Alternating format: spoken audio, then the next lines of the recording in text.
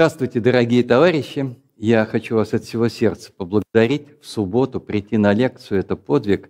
Я постараюсь оправдать ваши надежды. Примите мое глубокое уважение. Сегодня мы будем говорить о больном, который страдает и ишемической болезнью сердца, и артериальной гипертонией, и в реальной практике это сплошь и рядом идет рука об руку.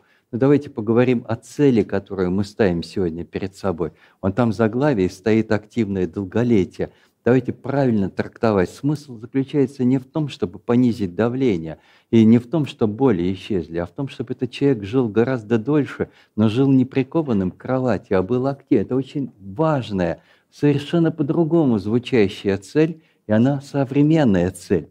Давайте начнем с простых вещей. Вот поскольку это школа, мы разобьем ее на несколько модулей. Вот что сегодня в мире известно по поводу артериальной гипертонии и ишемической болезни сердца? Ну вот давайте начнем. 128 лет тому назад врачи моего поколения блестяще помнят эту фамилию, это Риварочи. Это был итальянский врач, который придумал вот этот аппарат, который мы называли аппаратом Риварочи. Смотрите, что он сделал. Он сказал, если я перекрою артерию, то я потеряю пульсовую волну. Я сброшу надув манжеты, и появится пульсовая волна.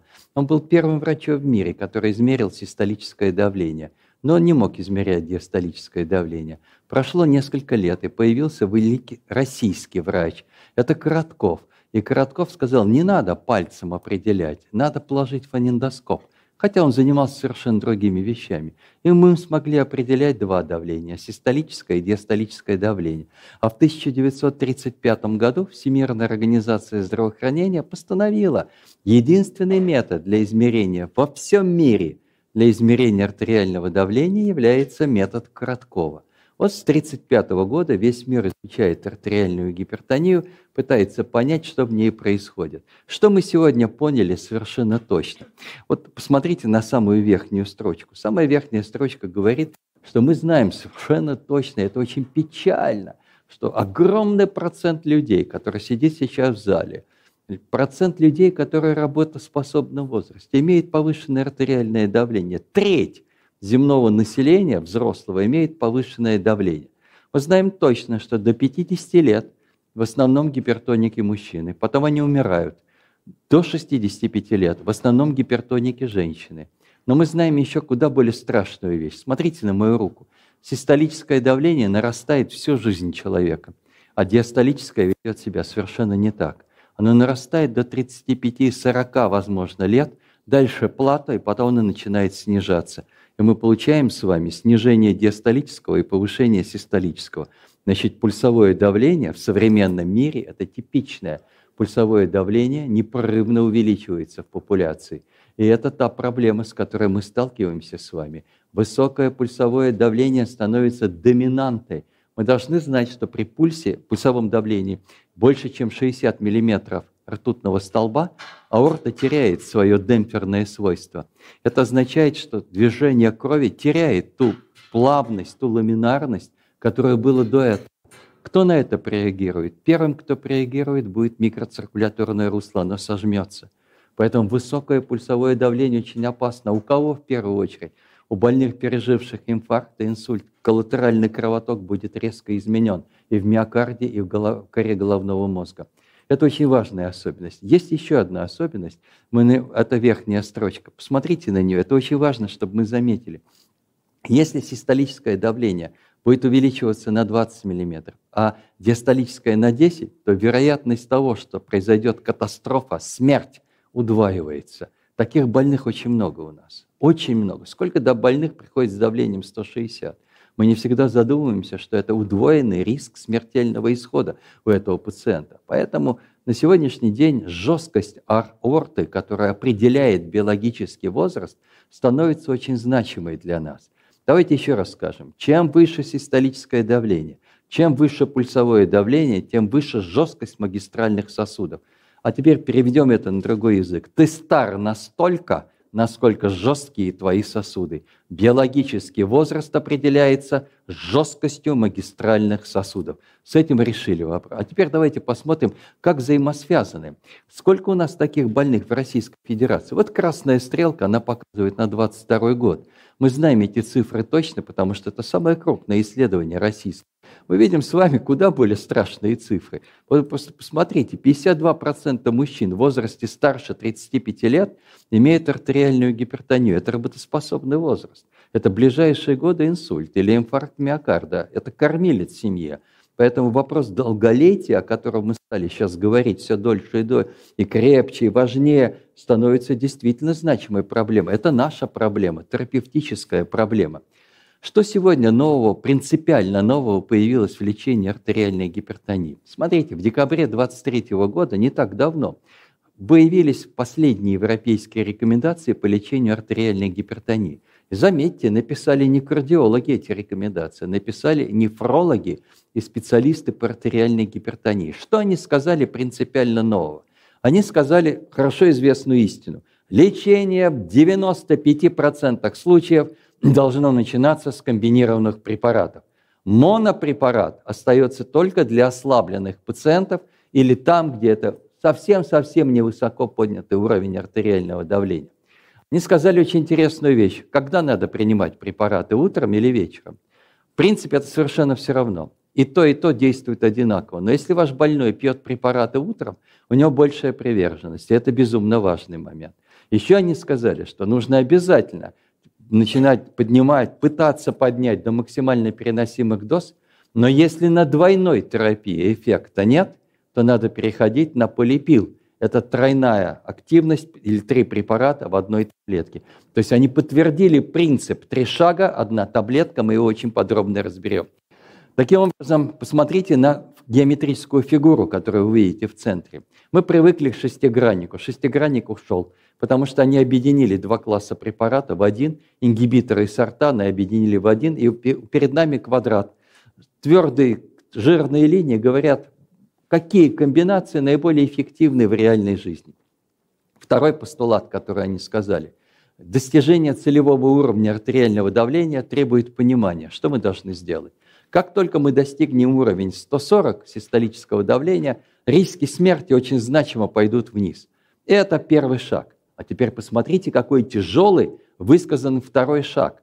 На этом останавливаться нельзя, потому что если мы сможем понизить давление ниже то мы достигнем большого результата в плане снижения количества госпитализаций. Это первый пункт. Смертей. Второй пункт. Но если больной это переносит. Почему больной может это не переносить? Потому что у него есть критические или субкритические стенозы сонной, начнутся когнитивные проблемы.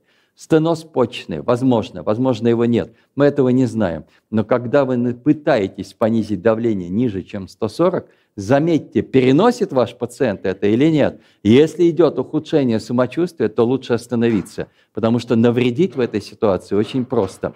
Посмотрите, как сегодня прозвучало понятие давление 130 и 80.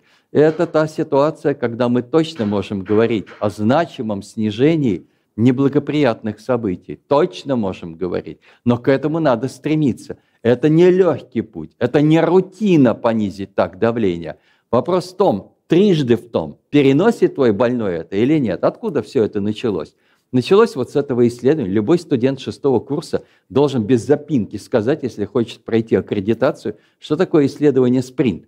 Исследование спринт прозвучало очень важно – Смотрите, много лет тому назад, в 2016 году, сказали, давайте всех больных разделим на два класса. У одних будет давление 120, у других 140. И посмотрим, как они будут выживать. Посмотрите, как они выживали. Вы видите, куда показывает верхняя красная стрелка. Вы видите синюю и желтую линию. Вы очень хорошо видите, что желтая линия идет ниже, чем синяя линия. То есть попытка снизить давление к 120 привела к снижению риска смерти, сердечно-сосудистой и общей смерти. Это было великолепно, это были аплодисменты. А потом началось очень важное изучение деталей. Первая деталь. Если ты хочешь понизить давление ниже, чем 140, то, пожалуйста, знай, что есть два подводных камня, которые на поверхности. Первый подводный камень – это исходная скорость клубочковой фильтрации. Если она меньше, чем 45, то вероятность развития острого почечного повреждения достаточно высока. Будь трижды аккуратен, трижды подуй на холодную воду, прежде чем ты примешь это решение. Подумай крепко.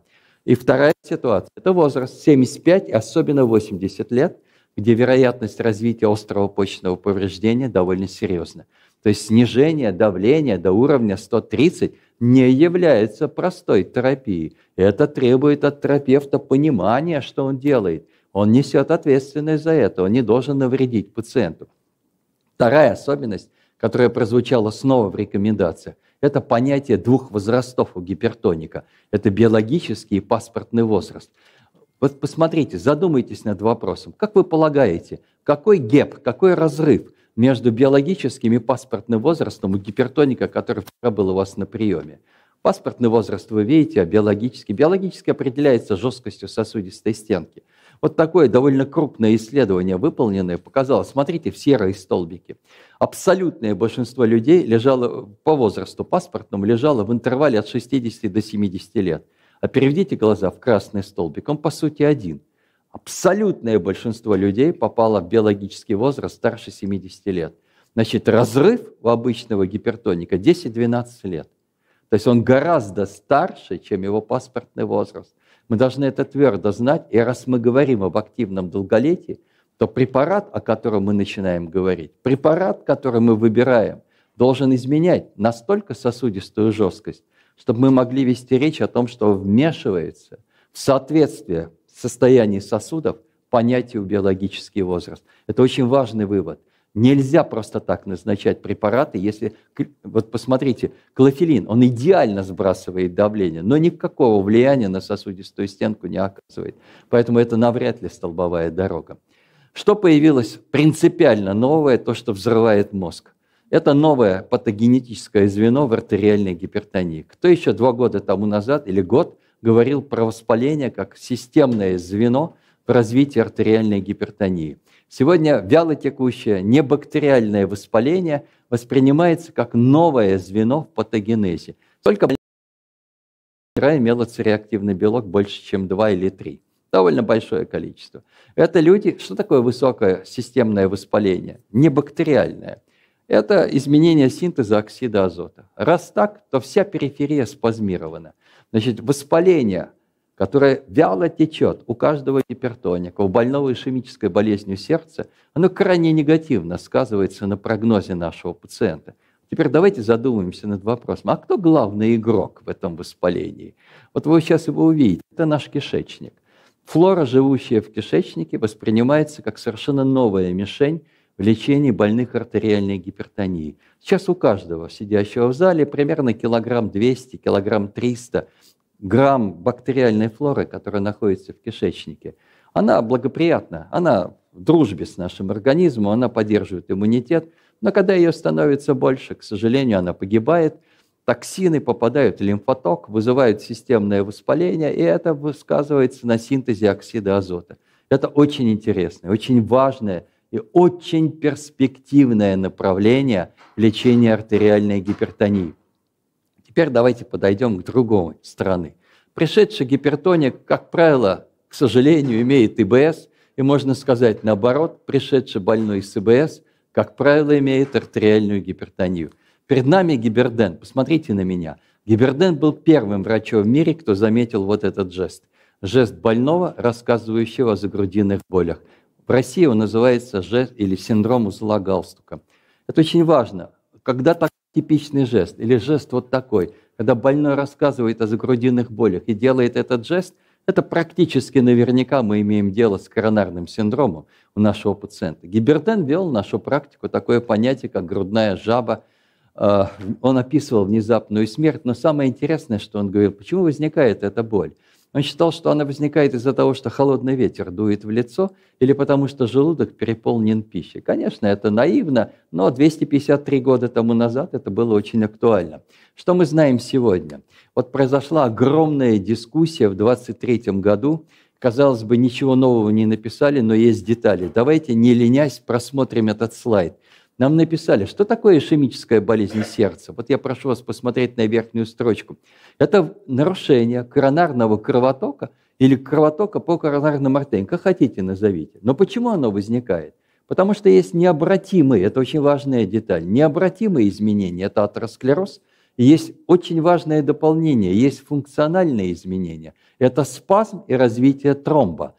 Тромб, который приведет к окклюзии или частичной окклюзии коронарной артерии. Таким образом, на сегодняшний день борьба с развитием тромбоза становится одним из самых главных векторов в лечении больных с ишемической болезнью сердца. Это один из ключевых параметров. Посмотрите, вот это дополнение на необратимых и функциональных изменениях, оно очень открывает нам возможности.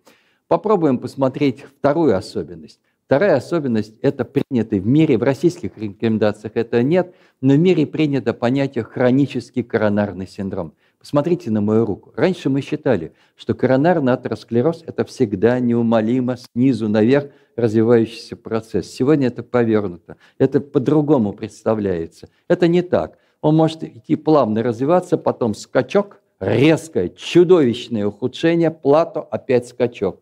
Вот это и есть понятие чередования острого коронарного синдрома и хронического.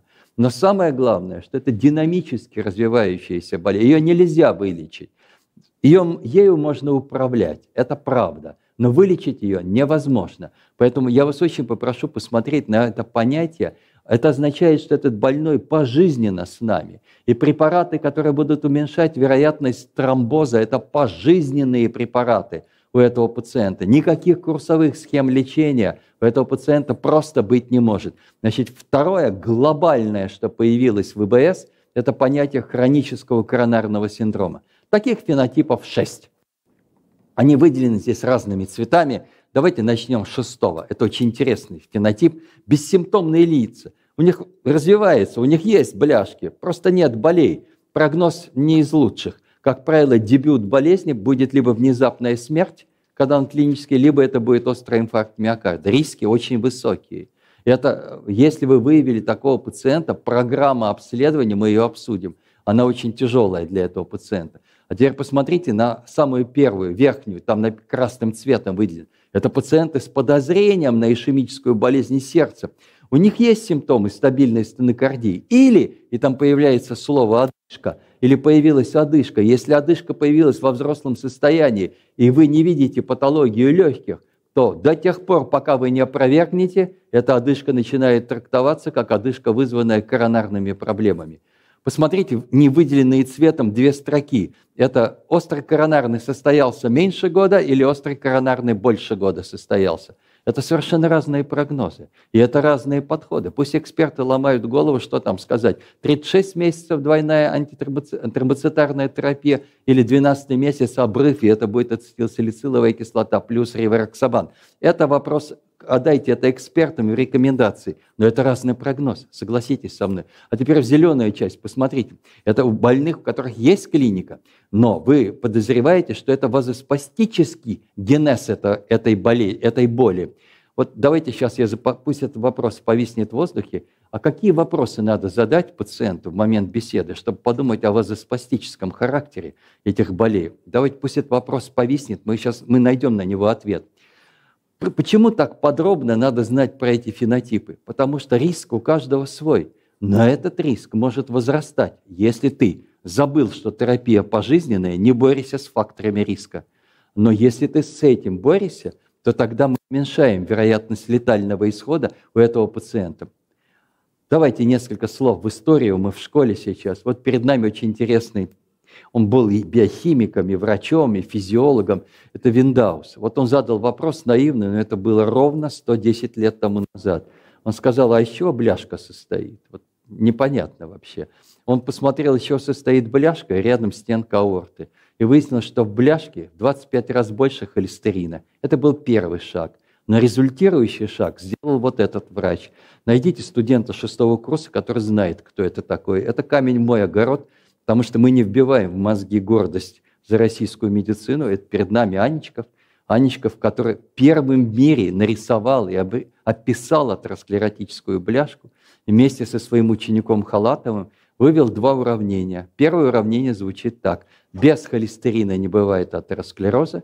Чем больше холестерина, тем тяжелее выражен и ввел термин мультифокальный атеросклероз – то есть он сказал, атеросклероз развивается не только в коронарных артериях, он поражает все артерии сразу. Это одномоментно протекающий патологический процесс. Смотрите, это рисунок от руки сделанный Анечковым. Я не поленился в Ленинской библиотеке. Это, тогда не было фотоаппаратов. Он все, что видел в окуляр микроскопа, он и нарисовал. И нарисовал и подложку этой бляшки и как она выглядит. Это, конечно, приоритет российской медицины. А это был врач Херик, который задал вопрос, а почему боль возникает? Ну, растет бляшка, черт с ней. Почему боль возникает? И он первый додумался до вопроса о перекрытии коронарного кровотока. Вот смотрите, сколько выдающихся открытий было сделано примерно сто лет тому назад. Но очень много созерцал мир, смотрел, мы не могли управлять ростом бляшки, статинов никаких не было. Тогда все надежды возлагались на хирургические методы. Вот перед нами Грюнсик. Грюнсик был, очень рано ушел из жизни, ему 42 года было. Грюнсик был потрясающий хирург, который первый в мире додумался раздуть баллон в коронарной артерии. Он сдавил бляшку, он первым подал давление 10 атмосфер, сдавил бляшку. И, знаете, я помню это, я был довольно молодым ординатором тогда, я помню, какой был вообще эффект считали, что все, ишемической болезни сердца больше нет, потому что бляшки нет, коронарный кровоток открыт. Это казалось ерундой, потому что все возвращалось в очень короткий временной интервал. 10 лет была попытка осмыслить, что мы получили. Через 10 лет появился Зигвард. Зигвард был первым врачом в мире в 1988 году, который оставил в коронарной артерии стенд. С 1988 года это стало рутинной процедурой – и тогда тоже считали, что болезнь теперь вылечена. Посмотрите фотографии из-под стента. Это атеросклеротический процесс. Он неумолим, он прогрессирует. Он прогрессирует и в том сосуде, где стоит стенд, и в другом сосуде, в котором стента нет. Это системный процесс. И трижды был прав Анечков, который сказал о неумолимости этого процесса и о тотальном поражении всех сосудов нашего организма этим атеросклеротическим процессом. Давайте посмотрим. Основной идеал это, или основной посыл – это уровень холестерина. А с чем мы сейчас работаем? Кто к нам приходит в кабинет? Посмотрите на две жирные красные полосы, стрелки. Они показывают на липопротеиды низкой плотности. Я прошу вас посмотреть на серый столбик.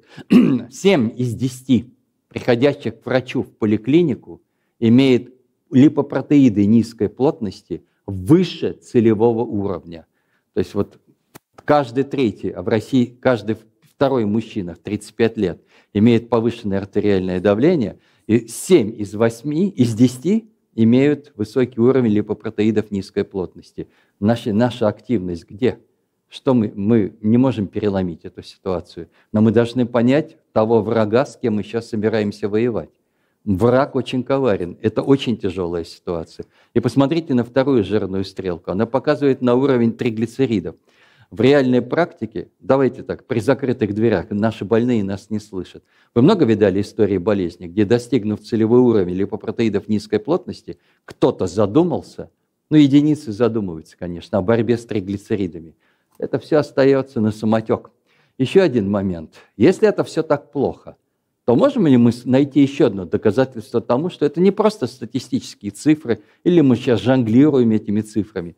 Посмотрите на вклад коронарного синдрома в развитие летального исхода. Это доминанта в современном мире. По сути, каждая пятая смерть – смерть, обусловленная стабильной ишемической болезнью сердца.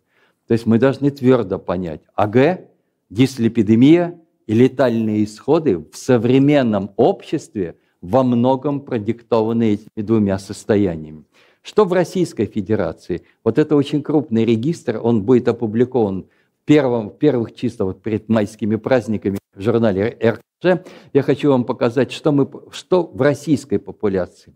Вот я, смотрите за лучом, 95% имеют выраженное поражение не менее двух коронарных артерий. С чем это сочетается? 7 из 10 имеют в этот же момент поражение сонных артерий. Каждый второй имеет клинически значимое поражение бедренной артерии. То есть я умоляю обратить на это внимание. Больной, пришедший за грудинами, с жалобами на загрудинные боли, это, как правило, мультифокальный атеросклероз с поражением других бассейнов. И количество двух бассейнов у каждого второго пришедшего к терапевту – трех бассейнов у каждого третьего пришедшего. То есть это может быть почечная артерия, бедро, коронарка, коронарка, аорта, почка и так далее. Комбинаций может быть очень много. Но мы понимаем с вами, что для современного мира мультифокальный атеросклероз, и отсюда риск тромбоза и развития тромбов становится доминантой в современном мире. А вот как мы их лечим? Вот красные и синие столбики. Красный – это то, что в реальной жизни. Синий – это целевой уровень. Липопротеиды низкая плотность. Просто сравните эти две цифры. Между прочим, они кому ходят? Не к диетологу и не к косметологу. Это из кабинетов кардиологов. Так что вот заметьте вот эти вещи. Это реальная проблема в реальной жизни. То есть мы точно понимаем, с кем мы собираемся воевать и что мы собираемся изменить ради жизни наших пациентов. Умирает у нас очень много – Примерно 500 тысяч из умерших – это больные из-за хронической коронарной болезни, ишемической, стабильной ишемической болезни сердца.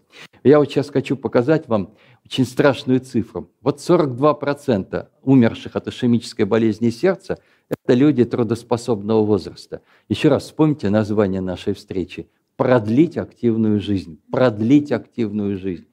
И, к сожалению, как было в конце 80-х годов, так и сейчас – примерно в 50% случаев инфаркт является дебютом ишемической болезни сердца. То есть заранее он не был выявлен.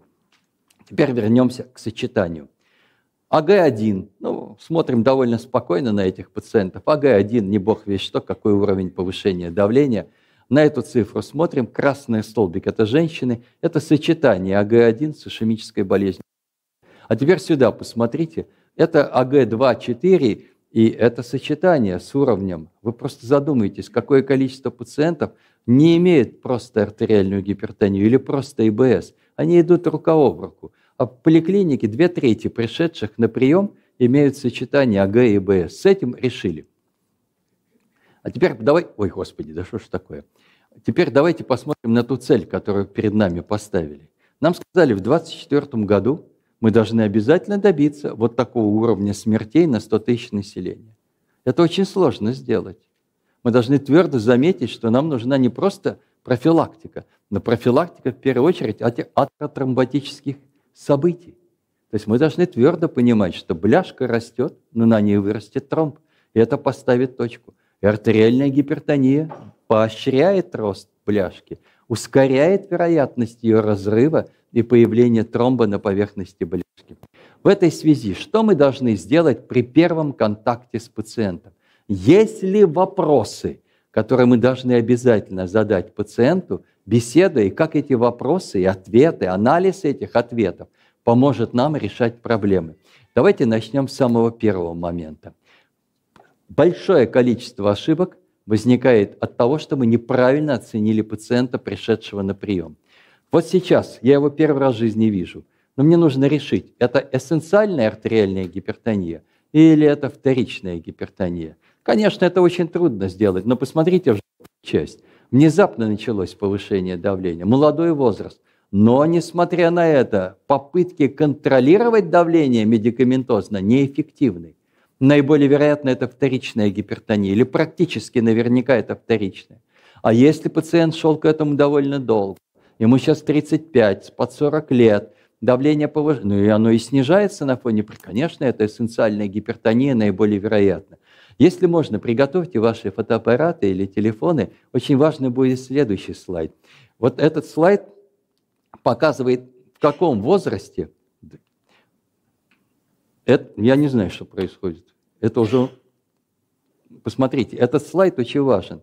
Это в какие вторичные гипертонии для какого возраста характерны. Не будем придумывать гипертонии, просто мы смотрим на этот слайд, он должен быть в телефоне. Когда я задумываюсь, что происходит с пациентом, я должен свериться с этим слайдом. Мне это поможет не ошибиться, не промахнуться в первый момент. Этот решили вопрос.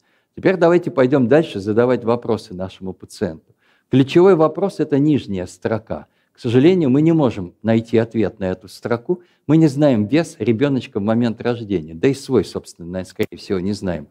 Вот смотрите, если ребенок родился минус 1 килограмм от ожидаемой массы тела, это означает, что каждая почка недополучила примерно 250 тысяч клубочков. Они не успели просто развиться момент первого крика ребенка в каждой почке должно функционировать примерно 1 миллион клубочков. 250 в левой, 250 в правой. Это 500 тысяч клубочков. Это означает, полпочки нет. 25, 27, 30 лет – это довольно злостный гипертоник. Мы, к сожалению, этого не знаем. Его проморгали, и мы его проморгали. А вот вторая строку, красная, мы точно можем найти ответ.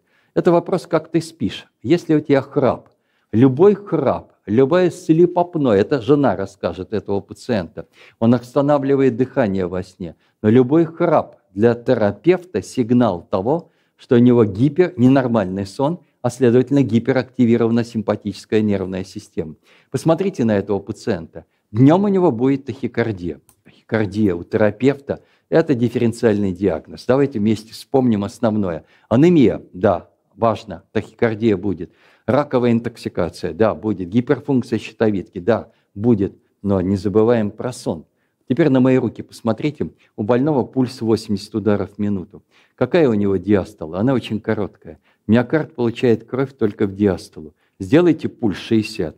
Диастола удлинится. Что будет? Вы будете бороться с ишемией гипертрофированного миокарда у гипертоника. Поэтому подсчет пульса и вообще ЧСС у пациента становится одной из глобальных проблем в пожизненном ведении этого пациента. Но у него будет дневная сонливость, для него будет типична головная боль. Просто задумаемся о сне у этого пациента. Значит, храп и слип апноэ – это один из первых вопросов для гипертоника. Если мы это знаем, то тогда давайте сами для себя скажем, а если цифра не с потолка взятая, какое количество часов сна является, ну скажем, и оптимальным для гипертоника? Да, очень крупные исследования ответили на этот вопрос. Смотрите на эти кривые. Они напоминают латинскую букву «Ю». Короткий сон, кривая смертей пошла наверх. Длинный сон, кривая смертей пошла наверх. А вот здесь 7 часов. Это оптимальный сон, длительностью 7 часов. Заметили это и больному подсказали. Давайте дальше продолжим беседу с нашим пациентом.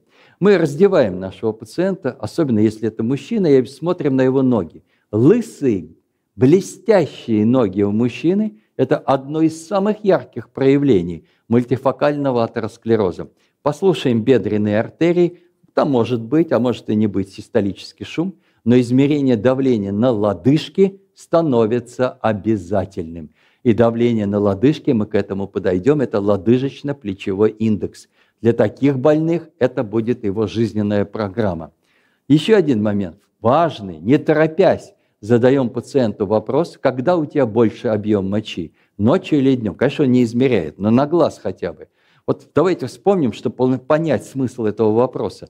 Когда у больного острый гломерулонефрит, чего мы начинаем? Со строгого постельного режима. Почему? Потому что в горизонтальном положении возрастает плазмоток через почку. В вертикальном это не получается. В горизонтальном возрос плазмоток. Значит, если Ночью возрастает плазмоток и объем мочи. Только не путаем с частотой мочеиспускания. Это аденома предстательной железы. А объем – это возросший плазмоток. Если плазмоток возрос, то это означает только одно. Количество функционирующих клубочков очень низкое. Это плохой прогноз для нашего пациента. Задали эти вопросы. И теперь давайте разделим гендерные вопросы. Что-то будем задавать обязательно женщинам, что-то обязательно мужчинам. Перед нами женщина в климактерическом периоде. Нас будет волновать частота вазомоторных синдромов. Сколько у нее? Если у нее два вазомоторных синдрома в среднем в день, не забывайте, что с очень большой вероятностью у нее ночное повышение артериального давления. И СМАТ здесь показан. Второй вопрос. Когда у нее возникла недостаточность яичников? Например, она может прийти в 35 лет с недостаточностью яичников. Это важный вопрос, потому что вы сейчас увидите страшную цифру. Сколько лет умножьте на 3 до 45 лет, когда возникла недостаточность, настолько возрастает вероятность катастроф сосудистых у этой женщины. Что мы можем сделать? Охоть-ахоть навряд ли. Мы можем ее точно отправить к гинекологу-эндокринологу, и в этой ситуации оправданно и осмысленно э, заместительная гормональная, сейчас не надо говорить заместительная, сейчас говорят МГТ, терапия, гормональная терапия, которая позволит, наверное, нивелировать эти симптомы. Давайте следующий вопрос зададим. И вот следующий вопрос будет касаться э, того, как протекала беременность. Было ли повышение давления? Раз. Преэклампсия была? Эклампсия была? Если была. Мы все точно помним, что у нее будет с высокой вероятностью гипертония в ближайшие 5-7 лет после родов. А что мы должны знать еще? Мы должны знать важную вещь. у этой женщины, здесь не случайно нарисован артальный клапан, возрастает фантастически вероятность стеноза артального клапана. Поэтому аускультация второй точки и поиск систолического шума артального стеноза такой женщины становится обязательной процедурой, хоть она пришла с совершенно другими жалобами. И еще один клапан влетает в этот процесс, это митральный клапан. Там быстро развивается митральная регургитация. Вот решили этот вопрос. Следующий вопрос. Что делать с такой женщиной? Ну, послушали, есть стеноз, нет стеноза. Но мы точно знаем, что даже при умеренном сердечно-сосудистом риске эта женщина будет отправлена к кардиологу или терапевт примет решение, так написано в рекомендациях, о начале статинотерапии у нее очень высокий сердечно-сосудистый риск. Значит, вот эта гендерная часть мы выяснили. Давайте подойдем дальше. Синдром поликистозных яичников написан на лбу. Можно быть дерматологом, но распознать синдром поликистозных яичников. Синдром поликистозных яичников – это мгновенно вопрос скорости развития атеросклероза и атеротромбоза. Это резко возрастающая проблема. И здесь, конечно, или вопрос гормональной терапии, и пожизненного наблюдения за развитием сосудистых проблем. Для женщин довольно новый для нас синдром, он не на слуху у терапевтов. Этот синдром называется минока. Давайте его расшифруем. Минока – это инфаркт миокарда без окклюзии коронарных артерий. Для женщин характерный диффузный атеросклероз. Очень редко возникает в климактерическом периоде полное закрытие коронарной артерии – диффузный характер атеросклеротического процесса, и отсюда совершенно другие жалобы. Они притупляют нашу бдительность. Она может использовать 5-6 прилагательных, чтобы описать неприятные ощущения за грудиной, но это не должно притупить нашу бдительность. Женщина в климактерическом периоде дала изменение уровня липопротеидов низкой плотности, артериального давления и триглицеридов. Она опасна, поэтому любые жалобы неприятные ощущения за грудиной – в левой половине грудной клетки становятся для нас обязательными для детального обследования этой пациентки. Теперь перейдем к мужчинам. Самый главный вопрос – это когда есть ли эректильная дисфункция. Те, кто работают в реальной жизни, знают, что правдивый ответ невозможно получить практически никогда. Но если вы получаете честный ответ, посмотрите внизу, довольно страшные цифры – если эректильная дисфункция возникла, в обозримый от 2 до 5 лет состоится сосудистая катастрофа. Это страшные вещи. Но вот такая гендерность различий при сборе анамнеза, это очень серьезно помогает нам понять, что происходит с пациентом. А теперь давайте попробуем беседовать по поводу ишемической болезни сердца. Вот я очень прошу вас сейчас посмотреть внимательно за лучом. Посмотрите, что нам здесь пишут. Когда возникает боль при физической нагрузке? Давайте вот, э, детализировать. Нагрузка интенсивная, быстрая или длительная? И мы эти три вопроса должны задать. Потому что у человека может быть совершенно по-разному. Триггер, который запустит боль. Эти три слова обязательно задаются. Если боль возникла при физической нагрузке, которая стала превосходить привычную физическую нагрузку, то мы тогда подумаем, что это первый функциональный класс. По крайней мере, первый контакт позволит мне задуматься об этом. Давайте продолжим сбор. Не, нам он говорит совершенно по-другому. Я могу точно сказать, что вот при скорости 80-100 шагов в минуту еще ничего, но вот чуть-чуть подойду к цифре 100 шагов в минуту, это сразу, это как бы звоночек. У меня сразу же появляется неприятное ощущение. Задайте вопрос, через сколько часов после пробуждения возникает эта боль? Чем раньше, тем хуже прогноз. Обязательно после еды боль усиливается. Если да, это хуже прогноз у этого пациента. Но ключевой вопрос – это скорость движения и расстояние, которое он проходит. 500 метров и скорость до 100 шагов. Если это так, он попал во второй функциональный класс. Третий функциональный класс – здесь значительные ограничения. Это уже точно он расскажет сам, или тот, кто его привел, расскажет вам, что это действительно, это уже до, до 500 метров – это уже редко. Это от 100 до 500 метров он может пройти, и это, это уже проблемы, трудность подняться. Один пролет, лестница 11 ступеней. Ему трудно подняться на эти 11 ступеней. И самое страшное, четвертый функциональный класс, он практически без чужой помощи жить уже не может, потому что он не может принять душ, он не может что-то сделать. И таким образом, смысл первых вопросов, если есть боль, то понять, какой это функциональный класс. Теперь вторые вопросы, которые позволят подойти к какому-то аспекту диагноза. Давайте начнем вместе. Дискомфорт в груди есть, но попросите описать этот дискомфорт. Какими прилагательными человек будет описывать этот дискомфорт? Давление, сжатие, тяжесть, жжение. Второй вопрос. Сколько минут вы прекратили? А через сколько минут это пройдет? Как прекратили, начнет проходить. Сколько длится? 10-15 минут. Свяжите вот эти три слова с 10-15 минутами. Зачем вы это сделали? Вы довольно быстро приняли решение, что наиболее вероятно это стенозирующий атеросклероз. Простые вопросы, но кардинальное решение. За стенозирующим атеросклерозом последует, наверное, больше мысли о коронарной ангиографии, в то направление вы пойдете. Давайте еще раз посмотрим. Это ключевые вопросы. Вы просите описать то, что он ощущает, как неприятное ощущение. Смотрите, какие слова. Давление, сжатие, тяжесть, жжение. Возникает на фоне нагрузки, продолжается не более 10-15 минут. Вы подумали о стенозирующем. Уточняйте. Попросите его уточнить. Запускается боль нагрузкой, да, но сразу в момент нагрузки боль? Нет. Она возникает чуть позже, после нее. Принимали нитраты, принимал эффект, есть никакого. О чем вы подумаете? Это микрососудистое. Простые вопросы, но второе решение – микрососудистое. Вы уйдете в зону протекции кардиомиоцитов, вы будете думать об этом блокаторах, об удлинении длины диастолы. Давайте дальше пойдем. Боль возникает, да, дискомфорт, но когда возникла? В покое.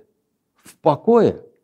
Какая интенсивность? Низкая. Вот Попросите его описать. Боль. Боль возникла, она нарастала, нарастала, а потом стала медленно спадать. Сколько минут? 10-15. Она потом уменьшается. О чем вы думаете? Это спазм коронарных артерий. Спазм коронарных артерий, вы подумаете о антагонистах кальция. Вы задали простые вопросы и построили три вектора в рамках первого контакта с этим пациентом. Попробуем с вами сеять. Очень много ведь больных будет приходить, которые будут очень живо описывать, красочно описывать, никакого отношения к коронавирусным делам не будут иметь эти боли. Давайте начнем. Первое. Больше, чем 30 минут, уже очень крепко, сомнительно, если он пришел к вам и рассказывает об этом, это, скорее всего, не коронарная боль. То слева, то справа. Это очень не характерно для коронарных событий. Боль носит, очень важно, локальный, пальчиком показывает, где боль. Нет гиберденного жеста пальцем показывает. Это, скорее всего, не коронарное дело. Конечно, надо будет уточнять, но тем не менее. Нет эффекта нитроглицеринов. И, и, ну, самое простое, надави, боль усилилась, это точно не твой пациент, это не коронарные боли. Теперь введем два термина, они очень важны. Что такое типичная стенокардия, что такое атипичная? Вопреки распространенному мифу, атипичная – это не очень страшная стенокардия. Типичное – это когда три параметра соответствуют описанию стенокардии, то есть спровоцирована, длительность, эффект нитратов. А типичное, когда есть два из трех параметров. И совсем нетипичное, не ангинозное, нетипичное – это когда есть один параметр. Давайте это запомним. Это сейчас будет крайне необходимо, когда подойдем к таблице предтестовой диагностики. Но все-таки вернемся к алгоритму. Сейчас первый визит. Он у вас в кабинете. Да никакого эха у меня еще нет. Никаких других исследований нет. Мне нужно принять стратегическое решение. Это мой пациент, это коронарные дела или нет? Если есть триада, выделенная синим цветом, мы ее подробно разобрали, есть провокация боли, нагрузкой, стрессом, есть определенная продолжительность, есть эффект, вы имеете все основания, чтобы поставить предположительный диагноз ИБС. И что сделать? начать лечение этого пациента. Потому что пока вы будете ждать, пока ему сделают эхо и другие методы исследования, не дай бог он умрет, или не дай бог будет инфаркт миокарда. Поэтому эти три симптома достаточны. А дальше вы будете прогонять этого больного по предтестовой диагностике. Что такое шкала предтестовой диагностики? Это особая шкала, но чтобы к ней подойти, мы должны уже иметь вероятность того, что мы держим в руках коронарный синдром. Давайте еще раз посмотрим на эти три признака. Они очень важны для нас. Типично возникло, типично продолжается, типично нивелируется препаратами нитратов.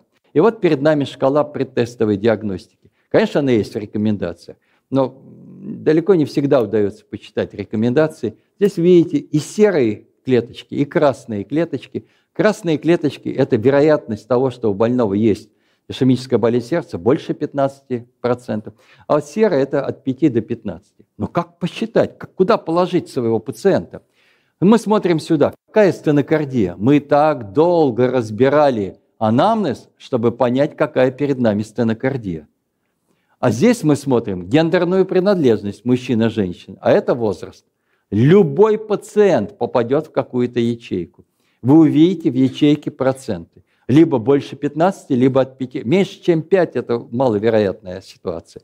Вот вы сейчас определились. Ваш больной попал в какую-то ячейку. Не торопитесь. Не торопитесь сразу же принять окончательное решение. Подумайте, есть ситуации, которые резко повысят процент. А есть ситуации, которые его понизят. Давайте в красную зону пойдем. Что будет повышать? Это фактор риска сердечно-сосудистых событий. Например, у него там стоит 12, но он курит. Резко возрастает вероятность. Посмотрите на наличие зубца Q или сегмент СТ. Вы смотрите в ЭКГ и видите, и так ясно, что это очень высокий риск.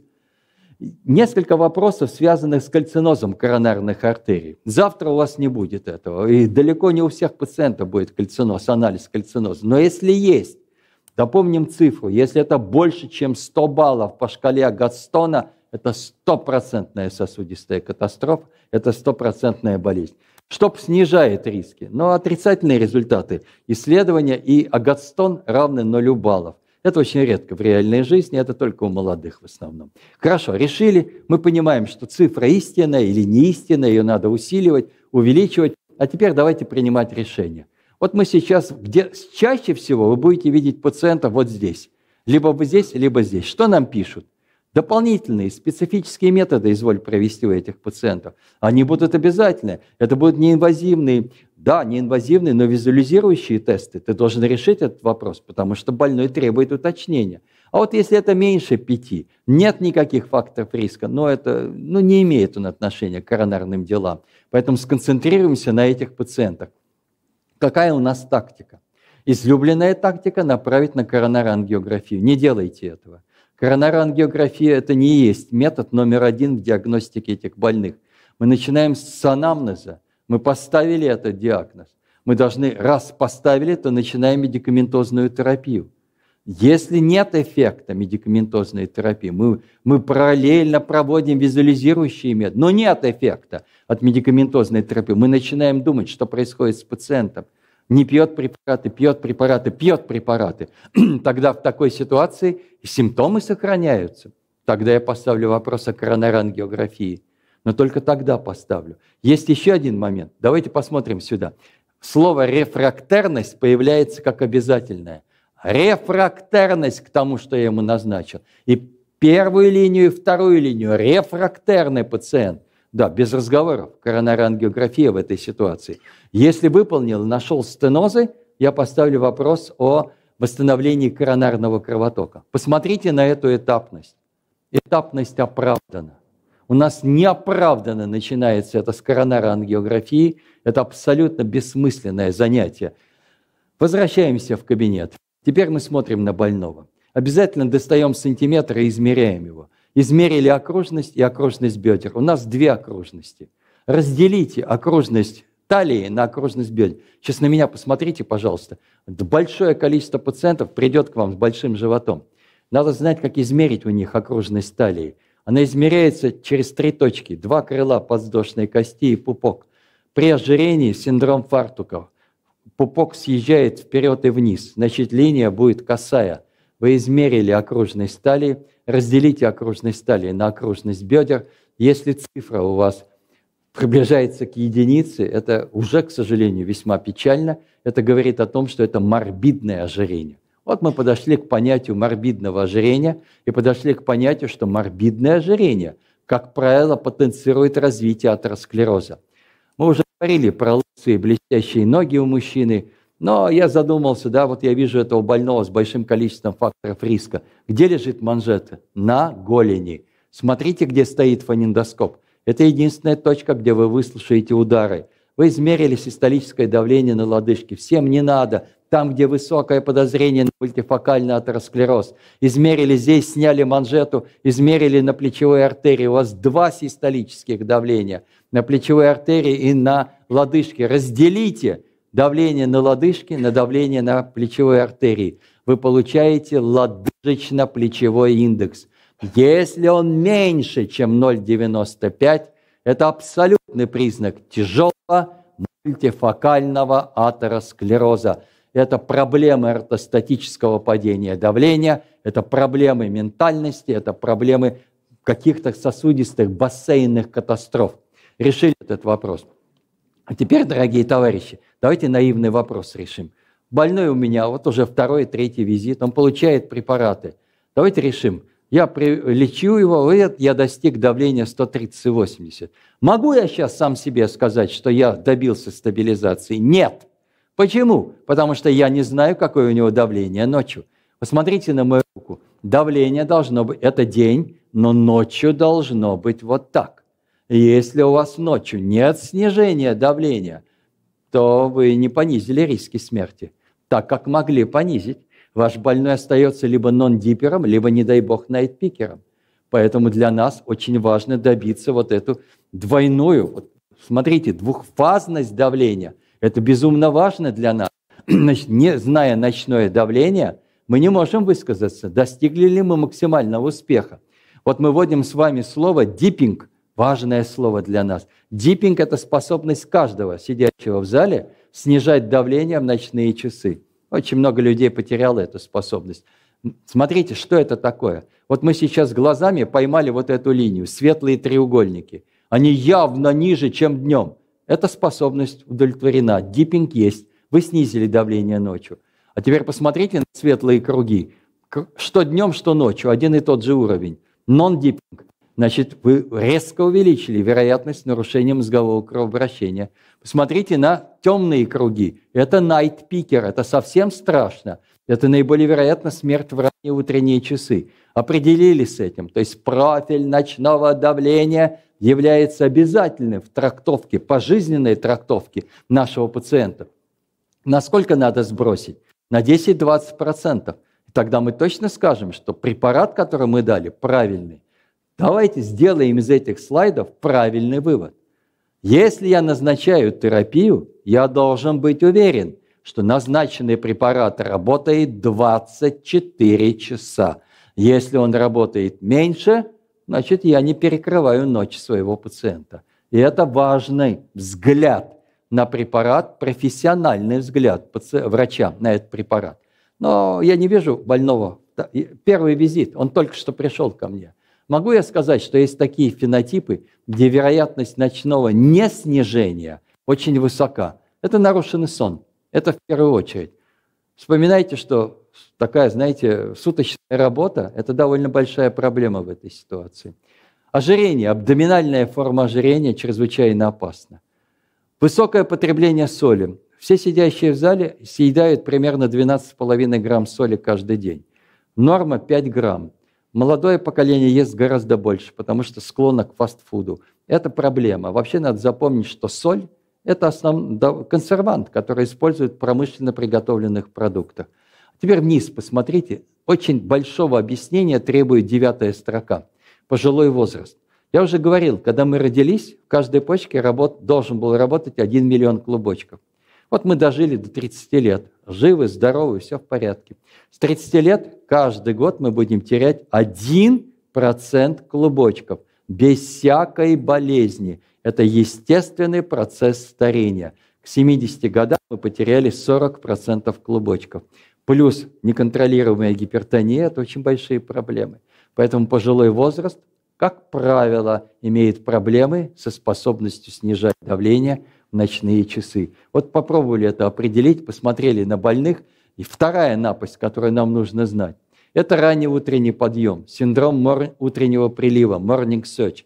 4.30, 5 часов утра. Посмотрите на СМАТ. Есть там подскок давления? Есть?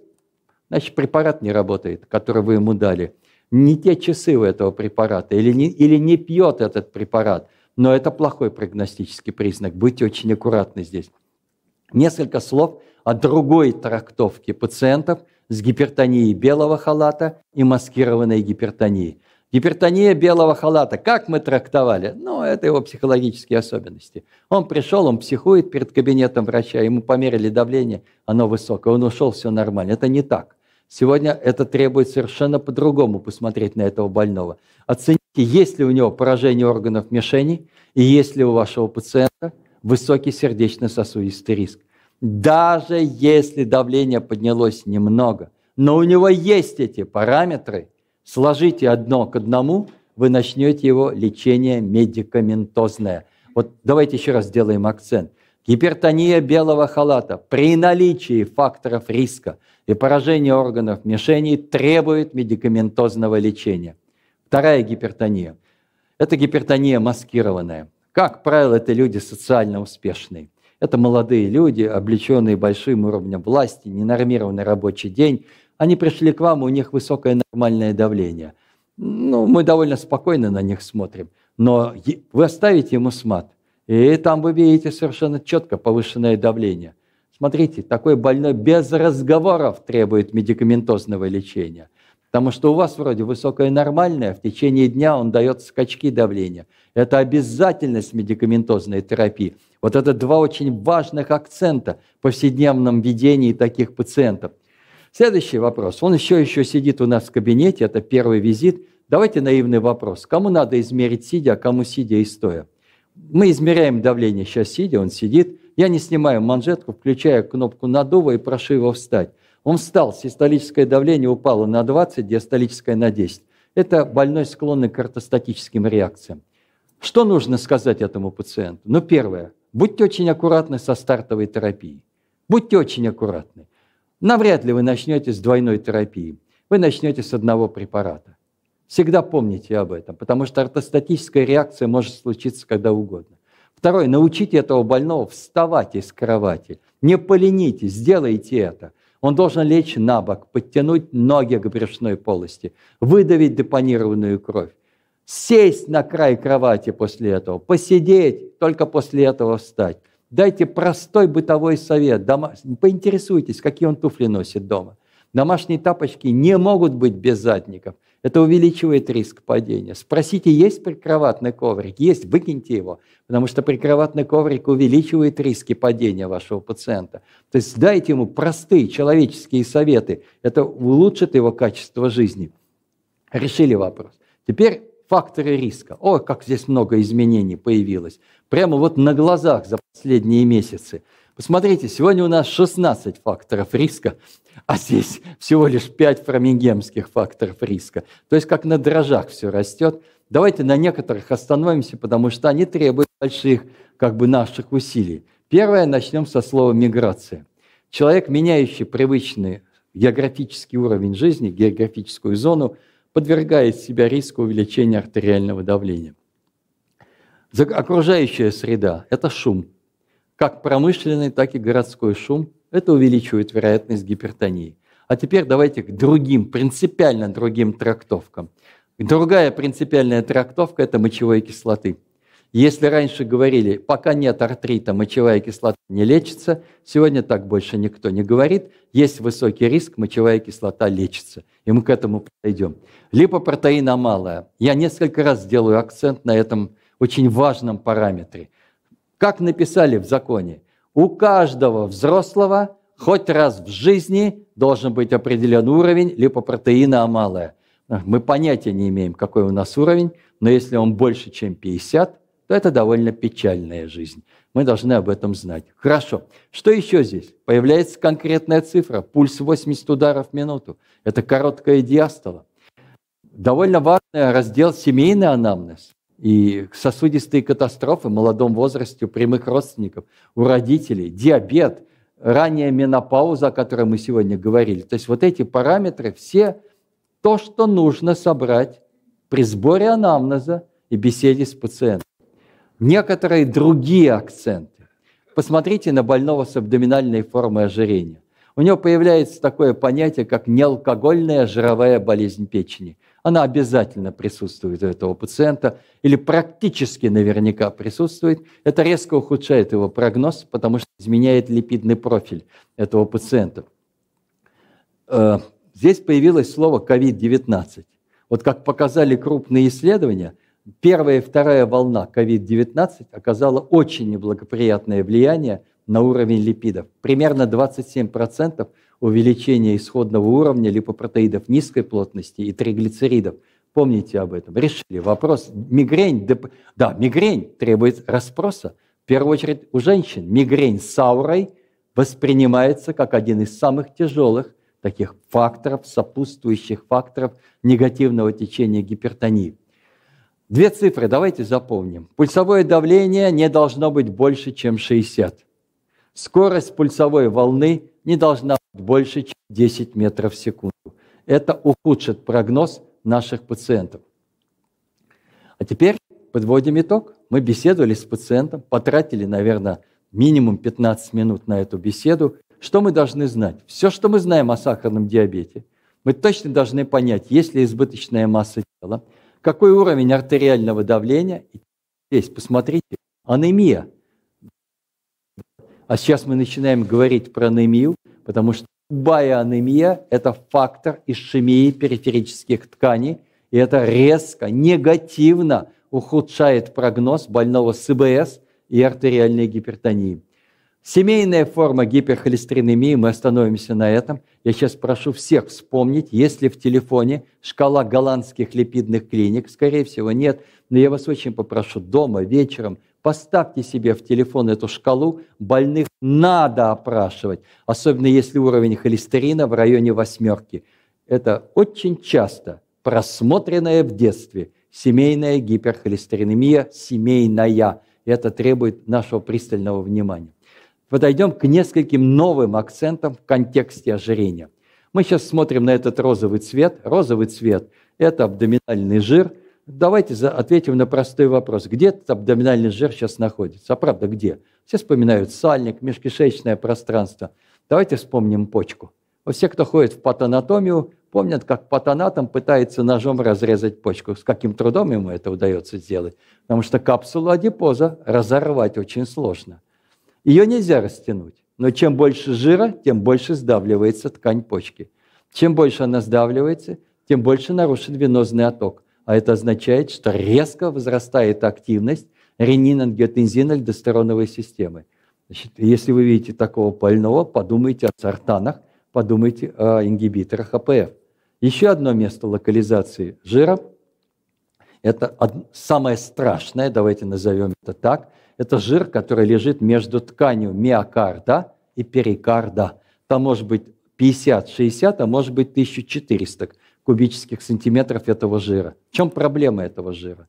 Этот жир не имеет никаких септ. Он обволакивает коронарные артерии, и поэтому токсины, вырабатываемые этим жиром, маркеры воспаления, активные биологические молекулы по вазовазорам попадают в коронарные артерии. Посмотрите на выраженность этого воспаления. Это прижизненные биоптаты.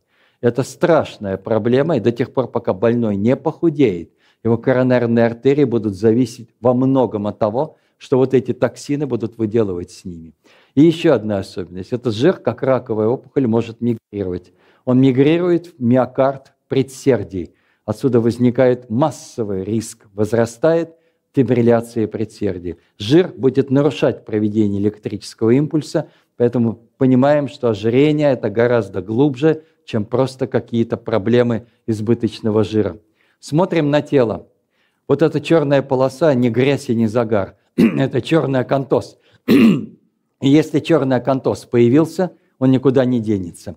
Это жизненно. Черный акантоз – это абсолютный признак инсулинорезистентности. То есть посмотрели на ноги, посмотрели на кожу этого пациента, оценили. Но теперь нам надо принять историческое решение. У моего больного есть метаболический синдром или нет? Есть. Другой прогноз – нет. Но я буду по-другому смотреть на этого пациента. Здесь вы видите красную и голубую полосу на этом слайде. Давайте посмотрим, что в красной. Я ведь померил окружность талии. Я знаю, что у мужчины не должно быть больше, чем 94, а у женщины больше, чем 80 сантиметров. Если больше, это еще не метаболический синдром, но подозрение. Тогда я смотрю в голубую часть. Я здесь вижу желтый цвет и белый цвет. Желтый цвет как хочешь, измери уровень глюкозы. Например, глюкоза плазмы натощак. Например, гликированный гемоглобин. Глюкозотолерантный тест. Все равно. А белое – это три строчки. Это липиды – липопротеиды низкой плотности, триглицериды, липопротеиды высокой плотности.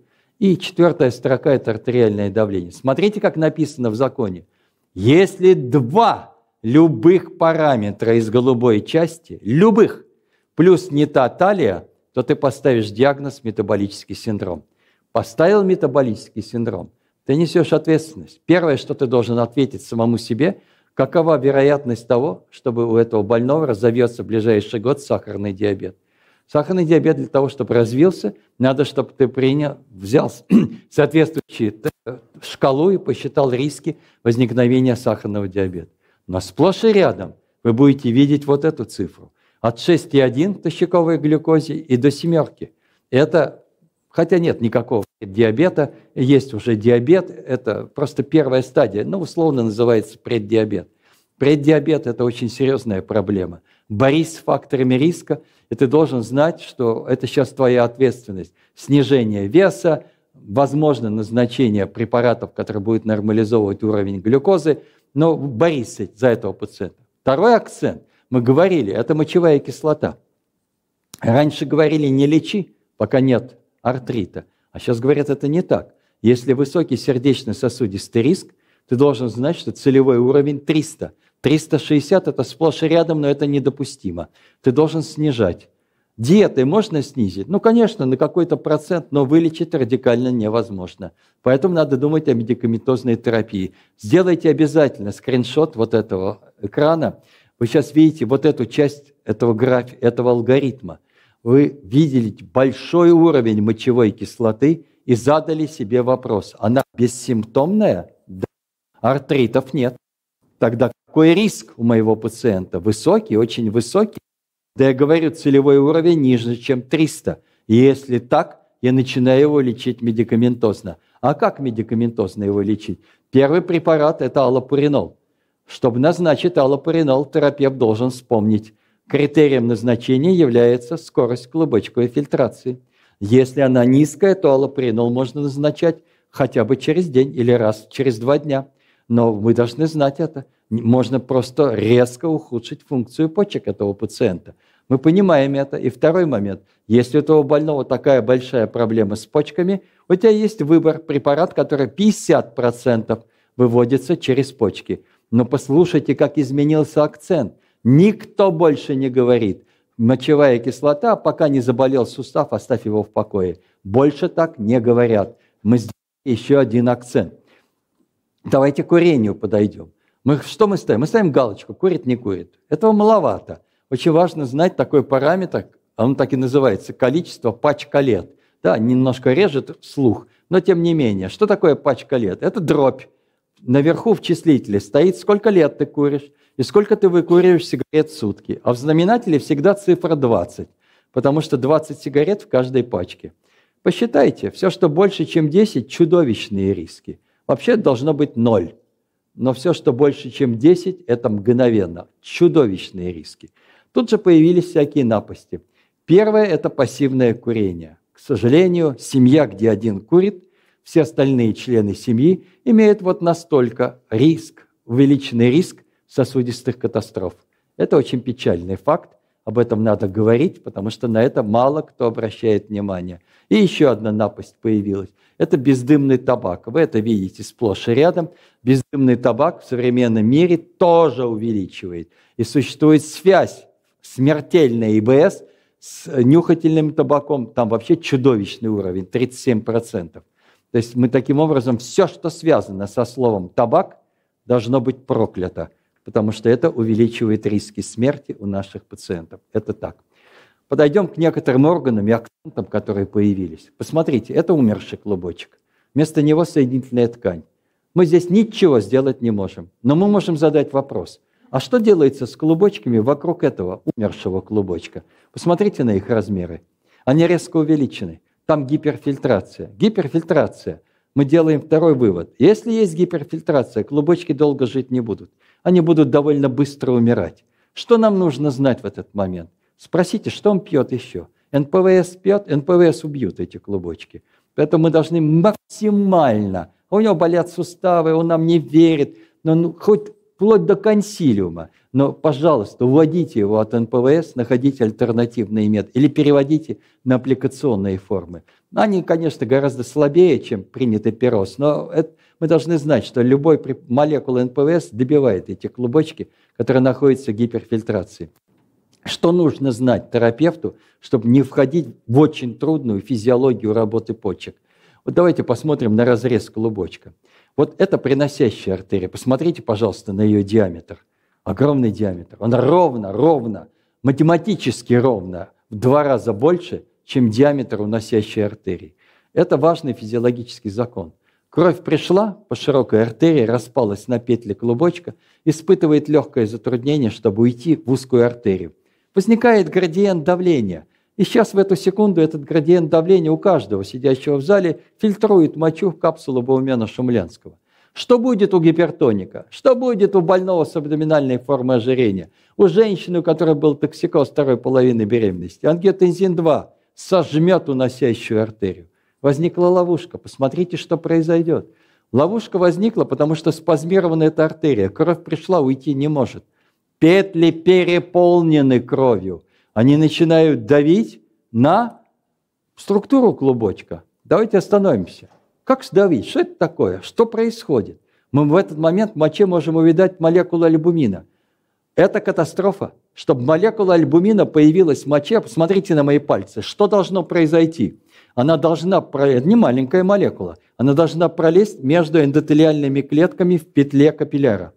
К петле капилляра прилежит трехслойная мембрана – она пролезет через трехслойную мембрану. Дальше лежат ножки подоцитов, которые имеют электрический заряд и отталкивают молекулу альбумина, а она пролезла.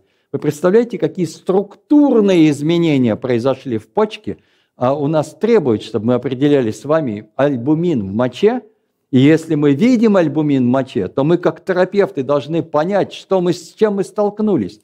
Я могу изменить эту ситуацию? Да. Я должен открыть уносящую артерию и сбросить давление внутри клубочка. Кто открывает уносящую артерию? Ингибиторы и сортаны. Им немножко помогает молекула специально, лерконидипин, антагониста кальция, но ключевые – это ингибиторы сортаны. Они открывают эту молекулу. И тогда мы действительно сделаем все, чтобы уменьшить появление белка в моче. Как оценить функциональное? Давайте запомним простую вещь. Если белок в моче – это повреждение почки – если скорость падает, это функциональные нарушения. Как считать функци... скорость клубочковой фильтрации? Вот здесь возникает несколько ошибок в реальной практике. Перед нами формула, которую нам били в голову на третьем курсе. Это формула Кокрафта-Голта. Формула Кокрофта-Голта не считает скорость клубочковой фильтрации, она считает клиренс креатинина. По клиренсу креатинина в кардиологии сегодня определяют только дозу прямого орального антикоагулянта. В реальной практике для метформина еще считают э, клиренс креатинина. Клиренс креатинина – хорошая форма, но почему ее перестали применять? Потому что здесь стоит масса Значит, ожирение, отеки вам будут давать нормальные значения, а это ошибка. Тогда мы применяем формулу, которая называется скорость клубочковой фильтрации. Она должна быть в телефоне у любого терапевта и кардиолога. В телефоне в телефоне, надо считать прямо в кабинете, считать у постели больного скорость клубочковой фильтрации. Написано «белые и остальные». Вы же догадываетесь, что это не расизм. Расизм в медицине вообще немыслим. А почему написали «белые и остальные»? Потому что формула применима в любой точке земного шара. У афроамериканцев, у европеоидов, у Юго-Восточной Азии. это важнейшая универсальная формула. Поэтому она для нас безумно важна. Безумно важна. Когда нельзя применять эту формулу? Категорически. Когда индекс массы тела больше, чем 40, или кахексия меньше, чем 15. Давайте запомним еще несколько вещей. Нет ноги, нет руки, неподвижен после инсульта. Посмотрите на шестую строку. Абсолютный веган, не ест животный белок, формула не работает. И, наверное, э, пожалуй, это все. Да, и не забудьте, что пересаженная почка и беременность не позволяют применять эти формулы. Что делать тогда? А как быть в этой ситуации? Перед нами решение этого вопроса. Это цистатин С. Да, никакая поликлиника никакая больница не определяет цистатин С, но вы отправите в любую частную лабораторию, чтобы был определен цистатин С. Дорого, но это единственный путь. Определились с этим. А теперь я вас очень попрошу посмотреть за лучом. Вы сейчас глазами в верхней желтой полосе. Вы столько мучились, считали и насчитали скорость клубочковой фильтрации. Если скорость лежит в диапазоне ниже, чем 60, но больше, чем 45, что сейчас? Какой вывод вы делаете? Перед вами стоит человек, у которого примерно в два раза увеличилась вероятность смерти от сердечно-сосудистой катастрофы. Если скорость упала еще ниже, от 45 до 30, вы говорите, передо мной стоит человек, у которого еще больше возросла вероятность сосудистой смерти, плюс у него возрос риск быстрой прогрессии почечной патологии. Что здесь говорят нефрологи? Они говорят, если вашему пациенту поживет, повезет, и он доживет до этой голубой полосы, вот тогда в процесс включусь я. Я буду вам считать уровень фосфатов, уровень белка, который надо дать больному. Но здесь-то наша ответственность. Здесь надо любой ценой остановить вероятность смерти. Здесь галопом идет развитие атеросклероза, здесь галопом идет вероятность атеротромботических событий у нашего пациента. Это очень тяжелая группа пациентов. Выделили ее. А как оценить, как описать белок в моче? Вот врачи моего поколения, кончая медицинский институт, вспомните, нам говорили, собери суточную мочу, и в суточной моче определи белок. Не надо это сейчас делать. Это ушло все в прошлое. Нам говорят, утреннюю мочу возьми у больного и определи альбумин-креатининовое соотношение. Это должна сделать любая лаборатория. Вот сейчас посмотрите за лучом. Вот эта строка до 2004 года называлась микроальбуминурия. Потом от слова микроальбуминурия отказались. Сейчас говорят альбумин-креатининовое соотношение. Например, 30 миллиграмм на 1 грамм креатинина. Больной находится в А2. Как писать диагноз тогда? ХБП, например, 3Б-А2. И это любой человек в мире поймет, что у него есть альбумин-креатининовое соотношение больше, чем 30. Плохой прогноз. Здесь надо обязательно дать ингибиторы или сортаны, и у него есть довольно далеко зашедшая хроническая болезнь почек. Определились с этим, это очень важно. Пульс, много раз сказал, очень интересно будет сказать, что человек, как млекопитающее, подчиняется очень важному закону. У всех млекопитающих частота или продолжительность работы сердца регламентирована количеством сокращений сердца. У любого млекопитающего миокард рассчитан на 3,5 миллиарда сокращений. Есть тахикардия, очень быстро вырабатываешь резерв, поэтому с тахикардией надо бороться.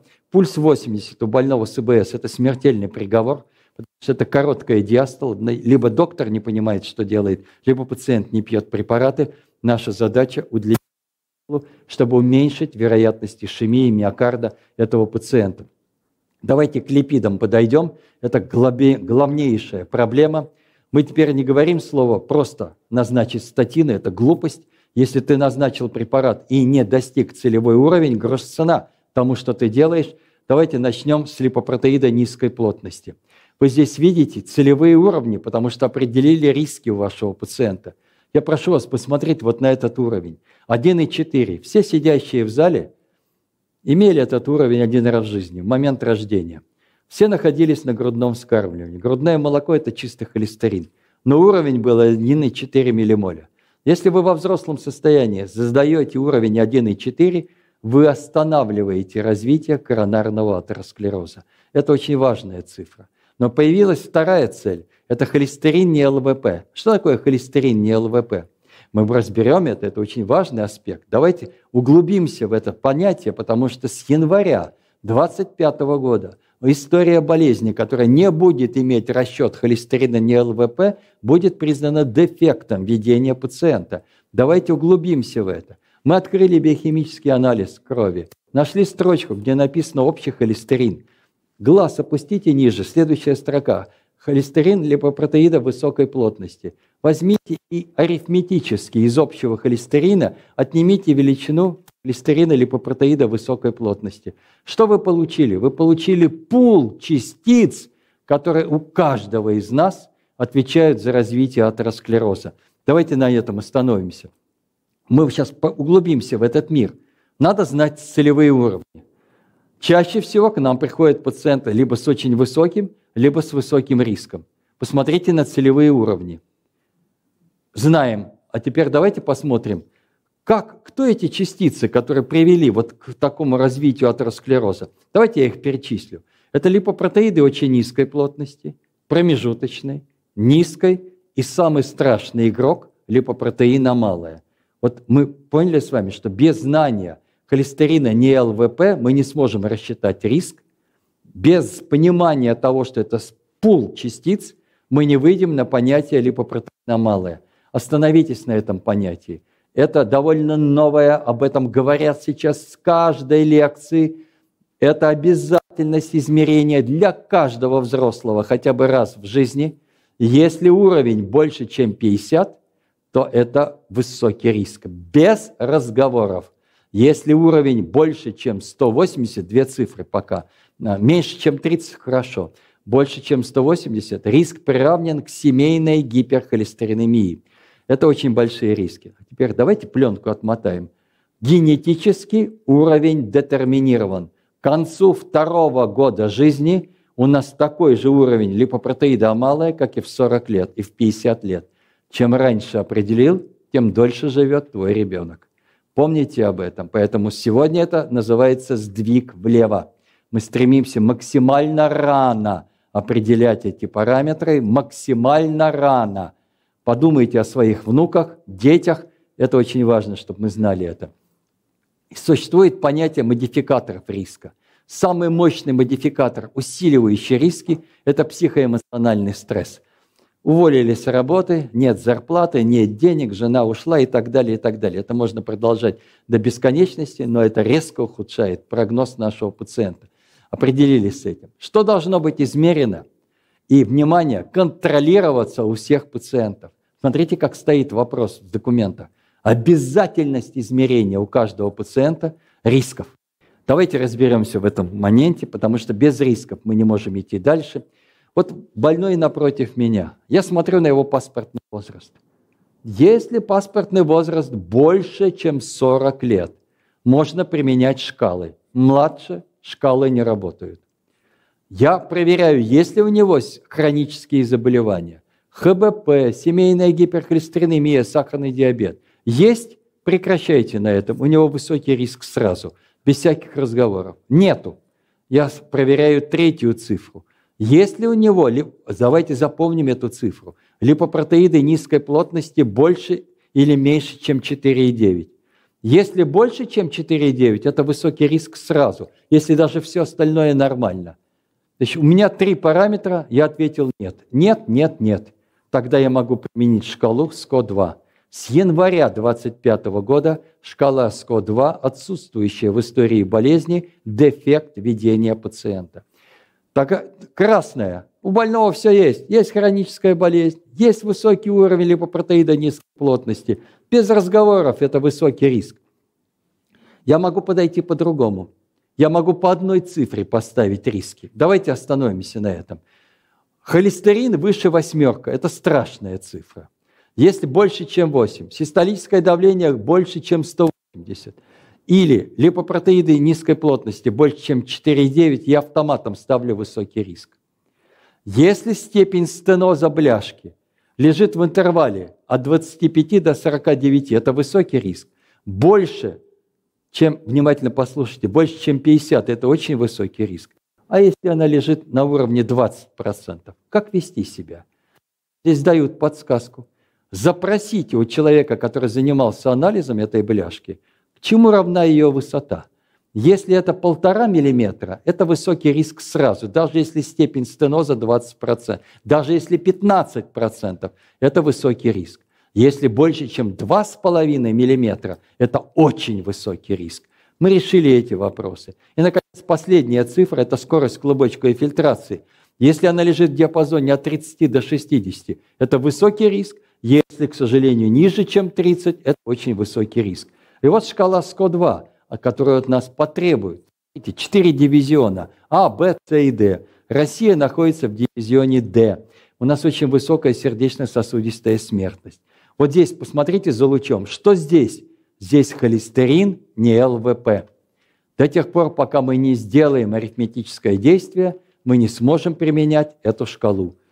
Красный цвет, к сожалению, плохой прогноз. Единственная шкала в мире, которая может посчитать риск до 90 лет, посчитали, определились с этим риском. Высокий риск, конечно, бьем тревогу, но здесь сплошные красные поля. Риск высокий тотально. Поэтому мы начинаем лечить этих больных. Как лечить немедикаментозно? Начнем с похудания. Это довольно трудно. И здесь тоже прорывы очень большие сделаны. Мы начинаем с того, считаем основной обмен. Не поленились, взяли калькулятор, с учетом половой принадлежности и возраста, посчитали основной обмен. Это ключевая цифра. Дальше мы говорим, ты должен сбросить калории. Пожалуйста, опуститесь на землю. 80% пациентов даже не понимают, о чем мы с ним говорим.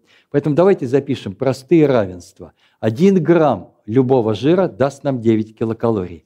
1 грамм алкоголя – 9 килокалорий. 1 грамм белка – 4 килокалории. 1 грамм углеводов – 3,4 килокалорий. Его надо научить снижать колораж. Ну, приведите простой пример. Кусок желтого сыра на хлебе. Средняя жирность 40% весит 30 грамм. Это 12 грамм жира. 12 на 9 умножьте, это в районе 120-110 килокалорий. Это 1 пятнадцатая суточной нормы. Никто же не наелся, будет есть дальше. Банка Кока-Колы 330 килокалорий. И любые аналоги Кока-Колы тоже самое. Банка пива 280 килокалорий. Поэтому подскажите ему, чтобы он стал снижать. 4% вас послушают, 96% не послушают. Это проблема. Это, это существенная проблема. Поэтому посмотрите на прорыв. Прорыв звучит по-другому. Прорыв говорит, мы можем оказать помощь, если будем лечить медикаментозно. Медикаментозно может лечить эндокринолог. Мы должны отправить к эндокринологу не для общей болтовни и взгляда на его щитовидную железу. Мы отправляем его для похудания. А это агонисты ГПП-1 рецепторов. Они гарантированно инъекционные формы сбрасывают до 15% веса в течение года. Это очень большая цифра. Но посмотрите на те цифры, которые получены в больших базах данных. Чтобы стабилизировать ИБС, надо похудеть на 25%, если есть ожирение. Это уже не я, я вообще ни на что не нажимал. Посмотрите внимательно на эти цифры. Это очень большие проблемы, чудовищные проблемы. Поэтому смысл этого слайда – когда ты видишь абдоминальную форму ожирения, вспомни про эндокринолога, который тебе точно может помочь в этой ситуации. Решили этот вопрос. А что из диеты сказать? Диета – это средиземноморская, без разговоров. Есть две диеты, даже диета средиземноморская. Давайте средиземноморскую разберем. Первое, что вы делаете, основной источник жира – это растительный жир. Научите больного покупать оливковое масло. Оно должно быть только холодного отжима то есть темные бутылки. В светлой бутылке это рафинированное и никакого отношения к противовоспалительному действию не имеет. Второе, пожалуйста, уменьшите радикально красное мясо за счет белого мяса птицы. Вот посмотрите, 100 грамм телятины содержит 130 миллиграмм холестерина, а 100 грамм белого мяса индюшатины содержит 70 миллиграмм. Разница существенная очень внимательно на пятый пункт. Вот это требуется вбить в мозги пациенту. Это 3-5 раз в день употребление овощей и фруктов. Супруги, скажите, надо не бутерброды с колбасой давать на работу своему мужу, а давать фрукты и овощи. Он похудеет, это приведет к дольшей продолжительности жизни. Категорический отказ от сладких шипучих напитков, категорический отказ от десертов за счет фруктов. Решили этот вопрос. Посмотрите на Даш диету. Даже диета, очень жесткий контроль соли. Она писалась для северных регионов Европы. и большой акцент сделан на э, ягоды. Потому что ягоды, флавоноиды – это противовоспалительный эффект. Пожалуйста, решили этот вопрос. И третий момент. Вбиваем в голову, что каждый продукт содержит свой уровень холестерина. Главный принцип – чем моложе мясо, тем больше холестерина. Телятина, свинина, особенно поросятина – это очень богатые холестериновые продукты. Нам надо снижать эти параметры, определились с этим для каждого пациента. Меньше всего в индюшатине и в курятине, в белом мясе, не в темном, в белом мясе. И последний аспект – это соль. Надо запомнить простое правило. В основном соль поступает из промышленно приготовленных продуктов. Там консервант соль, колбасные, сосисочные изделия, полуфабрикаты. Поэтому спросите, как семья готовит еду. Дома готовит контроль соли. Не дома не готовят, покупают полуфабрикаты, это всегда большое потребление соли. Самый простой совет – переходить на но если это возможно, приготовление еды. И такая развлекательная задачка. Сколько соли мы съедаем, съев три кусочка черного хлеба? 18% суточной нормы. Поэтому помним, что хлеб – это очень богатый солью продукт. Обратили на это внимание. И вот теперь для школы аспект. Как кардиолог должен вообще говорить о соли? Не с пациентом, а в своей среде. Соль измеряя натрий. Нас, хлор нас не волнует, нас волнует только натрий. Натрий оказывает токсический эффект. Посмотрите, здесь появляется слово миллимоли натрия. Давайте вспомним. Атомный вес натрия 23. Один моль натрия 23 грамм – это смертельная доза. Один миллимоль 0,023 – это ничтожная доза. Поэтому суточная норма – это 200 миллимоль. Это две чайные ложки соли. Это суточная норма для любого из нас. Обсудили, оценили, рассказали пациенту. Слово «вакцинация» появляется. Раньше такого не было. Вакцинация для больного ИБС и вакцинация для больного артериальной гипертонии. Ежегодная противогриппозная, ковидная, естественно, звучала. Если больной с тяжелой ИБС – это гепатит Б, и это обязательный вопрос, решение вопроса э, пневмококковой вакцины, потому что для него это негативные события закрыли этот аспект и начинаем объяснять больному, как двигаться. А как двигаться? Пойти в фитнес-центр – глупость. Он просто сорвется там, у него будет обострение его болезни. Не дай бог, треснет бляшка. Это недопустимо. Поэтому мы начинаем с простых вещей. Сколько минут в неделю ты должен заниматься? Оптимально для начала ну, 150 минут. Разделите на 7, вы получите примерно 20-25 минут – каждый день он должен заниматься физической нагрузкой. Какая нагрузка считается эффективной и безопасной? Это ходьба. Вы сейчас увидите очень интересный график. Начиная, вот задайте вопрос, а вы сами сколько шагов в день делаете? Ну, посчитайте, да, ну, нет, это 10 тысяч, это, слава богу, но это редкость. Это редчайшая редкость. В основном это полторы тысячи до двух тысяч шагов, а иногда и меньше. А больные и того меньше. Поэтому вопрос смарт-часов становится актуальным. Как хотите, браслет, часы, но он должен считать шаги. Как только вы выскочите за тысячу шагов, подойдете к двум с половиной тысячам и начнете дальше добавлять по тысяче шагов, вы начнете снижать риски смерти. Это поразительная вещь. Ничего не стоит, никаких денег не стоит, но она реально влияет на прогноз жизни пациента. И простая вещь, надо запомнить, сколько сжигать калорий. Если ты сжигаешь 9,5 калорий на килограмм веса, ты действительно понижаешь риски сосудистых катастроф. Вот смотрите, мы его честно посадили в кабинете, расспросили, осмотрели и честно ему сказали об этом. То есть мы попытались составить ему программу ведения на всю его оставшуюся жизнь. А вот как лечить? Давайте начнем с базового подхода. Это коррекция уровня липидов. Мы начинаем вот с этого слайда. Пожалуйста, сделайте скриншот этого экрана. Это наша безопасность мы должны понять, когда и кому мы начинаем терапию специальными препаратами.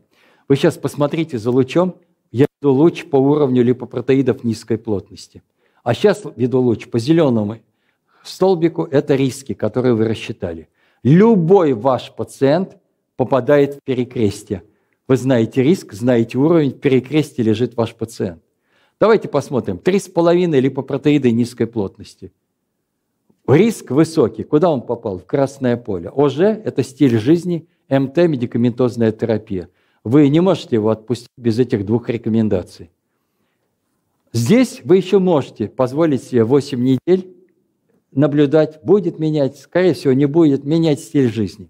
А теперь вот сюда посмотрите, вторичная профилактика. Вы даже не задаете себе эти вопросы.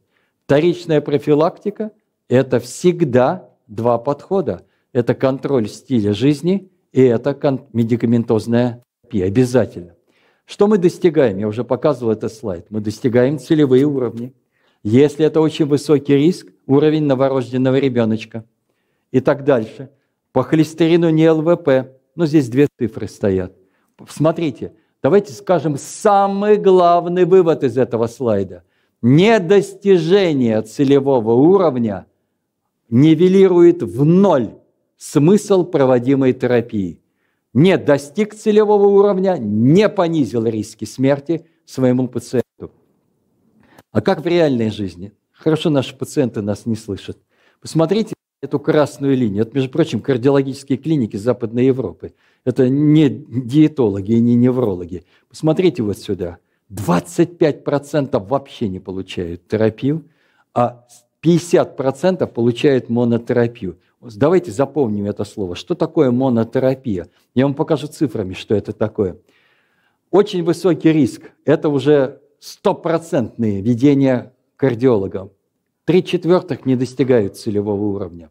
Поэтому мы говорим, постулат номер один – статины – препарат первого выбора. Что такое статины, постулат первого выбора? Мы вводим понятие мощность. Пожалуйста, посмотрите за цифрами. Мощность – это насколько стартовая доза статина собьет исходный уровень липопротеидов низкой плотности. Перед нами четыре основных статина. Первые три имеют десятку, стартовую дозу. Питовостатин 1 мг. Посмотрите проценты, на которые они сбивают. А что будет, если я удвою дозы? Мы вводим с вами правило 6%. Любое удвоение дозы статина добавляет к мощности 6%. А теперь посчитаем с вами максимальную мощность. Максимальная мощность розового статина. Я вас прошу, послушайте вместе со мной. 10 мг розового статина снизила на 48. Я удвою дозу, 20. 20 снизила, 48 плюс 6, 54. Я удвою дозу, 40. 54 плюс 6 будет 60%. Все. Это потолок того, что может сделать монотерапия статинами. Посмотрите на тех больных, которых вы лечите. 75, 80, 85, 90, 120 процентов снижения. Как вы будете достигать такие проценты? Монотерапия статинами не сможет решить эти вопросы. Тогда становится на повестку дня комбинация. И это обязательно. Какие глупости мы допускаем в ведении больных? Мы отменяем, как только достигли целевой уровень. Ровно через 14 дней все вернется назад. Это стратегическая ошибка, это глупость, которая изменила сценарий жизни пациента. Мы не назначаем статины, потому что боимся сахарного диабета. Это чистая правда.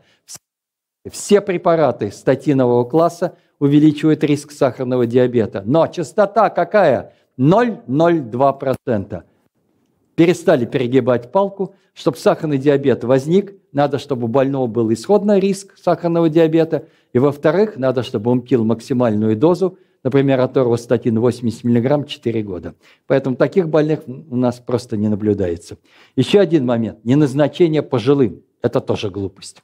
Потому что в любом возрасте снижение уровня холестерина на 1 миллимоль снижает риски сосудистой смерти на 21%. Еще один проблем – это боли. Вот сейчас он пришел, пожалуйста, отвлекитесь, сделайте фотографию, это очень важно, чтобы она была в телефоне и могла нас а, обезопасить. Он пришел и говорит, я пью статины, у меня появились мышечные боли. Они все испуганы. Посмотрите на меня. Первое, что вы делаете, вы проводите центра... мысленно центральную линию через этого пациента. Если боль вызвана статинами, она должна быть симметрична. Если боль вызвана статинами, она должна затронуть максимальные мышечные пласты – ягодицы, бедра, плечи. И третий вопрос, ключевой. Сколько дней прошло или недель после того, как ты стал пить статины, и у тебя возникли мышечные боли? Два-три дня, неделя, две недели, вероятность высокая. Больше месяцев, три-четыре месяца прошло, очень маленькая вероятность. Больше года – нулевая вероятность. Но тем не менее, вы же ему это не скажете. Следующим шагом вы говорите, хорошо, я принял это к сведению. Вы проводите его по этой шкале. К сожалению, поверьте мне, 70% будет лежать в серой зоне, и вашим, и нашим. Иди пойми, трудно разобраться. Вот вы сделали это, вы записали это в историю болезни. Третий шаг самый главный. Вы подходите к этому алгоритму, обязательная фотография. Вы рассуждаете, чему равен уровень КФК сегодня? Если он меньше, чем 4 верхние границы нормы, вы отменяете, да, вы отменяете статины и ждете 3-4 недели. Если за 3-4 недели боли не ушли, остались, сохраняются, они никак не связаны со статинами. Продолжайте назначение статина. Боли исчезли. Здесь надо менять статин. Как? Что на что меняется? Давайте просто запомнить. Оторва на розово, розово на оторву, потому что разные пути метаболизма. Если больше, чем 4 верхние границы, вы отменяете на куда больше срок. Вы отменяете на 6 недель. Что делать в этот момент? Дайте изотимип, ничего страшного с больным не произойдет. Если боли прошли, точно так же смена. Самое страшное, внимание, больножно, больной уже дома, вам из лаборатории позвонили и сказали, что уровень больше, чем 10. Вы не можете уйти домой. Это повод для госпитализации и экстренной, потому что очень-очень-очень редкое событие, но если это так, то это острая почечная недостаточность, будет рhabdomиолиз. Или высока вероятность рhabdomиолиза, поэтому помним, в такой ситуации госпитализация куда? В стационар, где многопрофильный стационар, где могут оказать помощь, в том числе гемодиализом. Что делать, если АЛТ больше, чем три границы нормы? Отменить. Если до трех границ не реагировать, продолжать прием статинов. Решили вопрос, и это ключевой алгоритм на ближайшие как минимум 4 года. Дали максимальную дозу статинов, давайте прямо по шагам пойдем. Через 4 недели эффект не достигнут. Вы не достигли целевого уровня. Вы добавляете изотимип. Через 3 недели вы не достигли целевого уровня. Что делать? Задумайтесь, что вы лечите. Вы то лечите, это не вторичное, вы не проморгали гипотереоз. Может быть, это семейная гиперхолестеринемия, которую мы проморгали. А если это все не просмотрено, в такой ситуации либо вы рискнете и назначите третий препарат, это будет моноклональное антитело, либо дадите больного к липидологу, правите к липидологу, пусть это будет его головная боль, он будет назначать третий препарат. Но оставить больного так невозможно. Это обязательно. Какие послабления даны в рекомендациях? Больной очень высокого риска, его уровень – четверка. Не ломайте голову, начинайте с комбинированного препарата сразу. Очень высокий риск – пятерка.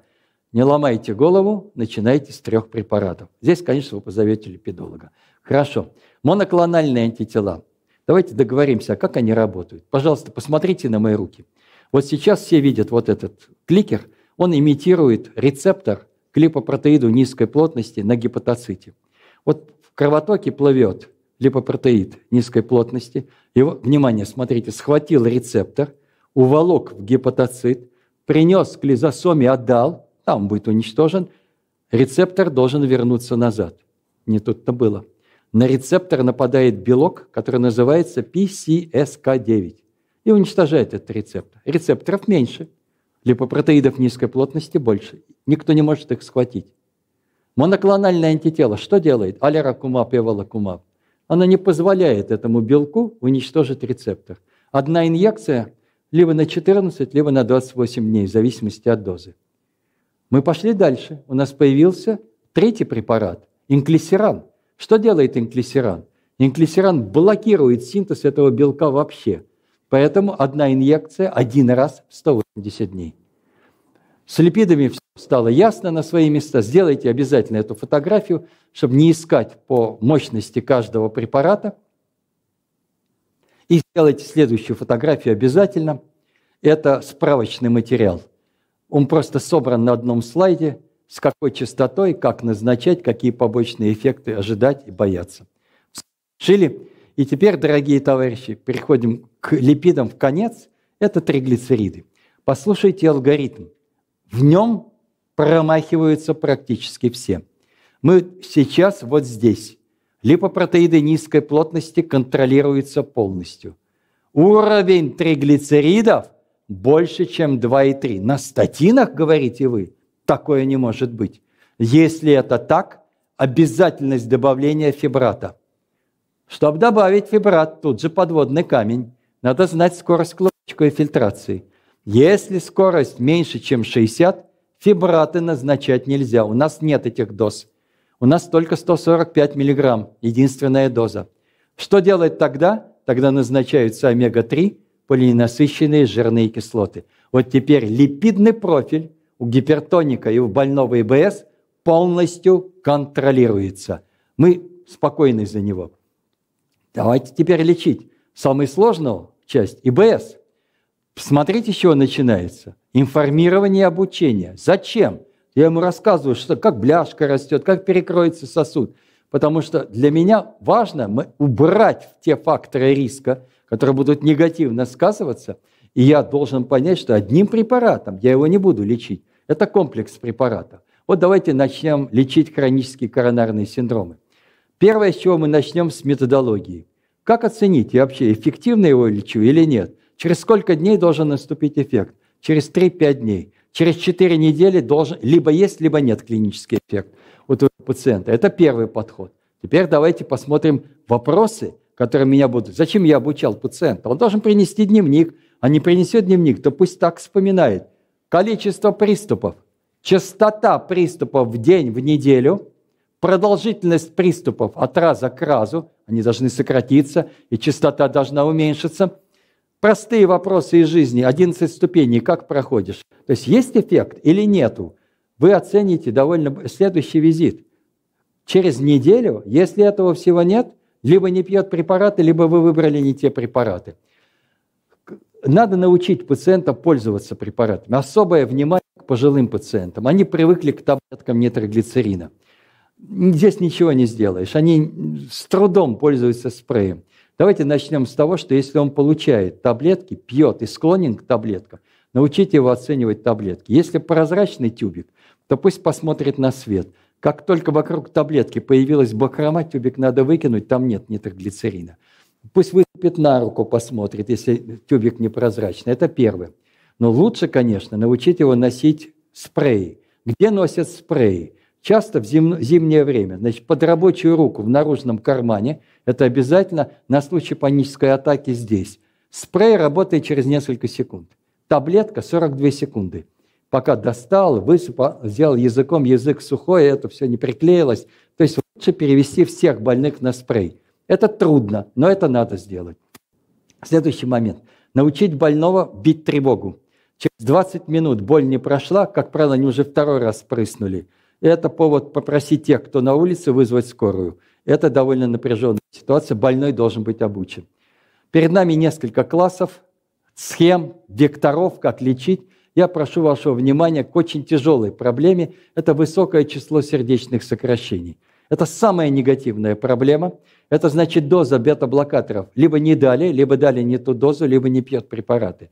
Но это самая страшная ситуация, потому что вероятность фатальных нарушений ритма будет очень высока у этого пациента. Когда начинать терапию, вообще бить тревогу и думать о хирургии? Если мы хотим улучшить прогноз, то есть снизить смерть, мы должны знать несколько моментов. Это ствол, это три сосуда. При проведении специальных методов площадь ишемии больше, чем 10% от поверхности левого желудочка – и стеноз больше 50% единственной функционирующей коронарной артерии. Других прямых поводов не существует. Я хочу уменьшить выраженность симптомов. Я ему дал все препараты, грош цена, потому что боли как были, так и остались. Значит, в такой ситуации я тоже поставлю на повестку дня коронарангиографию и проведение специальных методов лечения, хирургических. Но я вас очень прошу, терапевтически терапевтическими глазами посмотреть на это. Медикаментозная терапия и коронарангиография, стентирование и медикаментозная терапия кривые не расходятся. То есть если нет грамотной терапии препаратами, статинами, ацетилсалициловой кислотой, грош цена, мы не приводим к результату, на который так надеемся. Самое современное исследование. Начали лечение восстановления проходимости коронарной артерии, а другие начали медикаментозное лечение. Вы видите расхождение кривых? Нет. Поэтому давайте не перегибать палку. Коронарная ангиография, последующее баллонирование и стентирование дает только фору терапевту. Она не выводит больного из тупика. Без адекватной медикаментозной терапии мы не сможем предотвратить негативное течение болезни. Вот перед нами один из ключевых слайдов. Мы же с вами сказали, что ключ – это возникновение тромба. Что должно случиться, чтобы тромб стал формироваться? Надо, чтобы тромбоциты склеились. Вот перед нами тромбоцит. Чтобы тромбоцит склеился, смотрите за лучом. Надо, чтобы на его поверхности появился гликопептид 2B3A, такой белок. Чтобы он появился, кто его синтезирует, кто заставит его образоваться? Циклооксигеназа. Когда я дам аспирин, я пересеку этот путь, этого белка будет мало. Но, к сожалению, есть второй путь. Этот рецептор называется P2U12.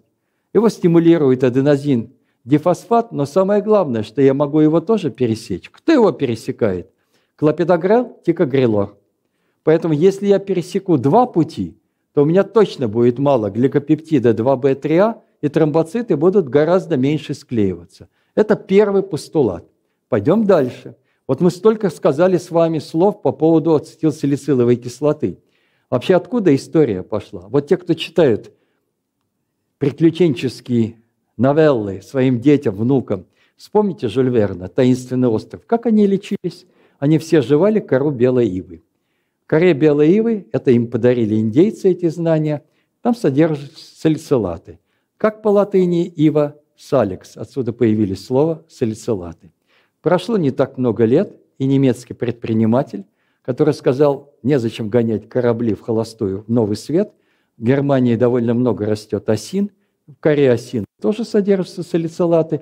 Осина по-немецки называется аспен, отсюда появилось слово аспирин.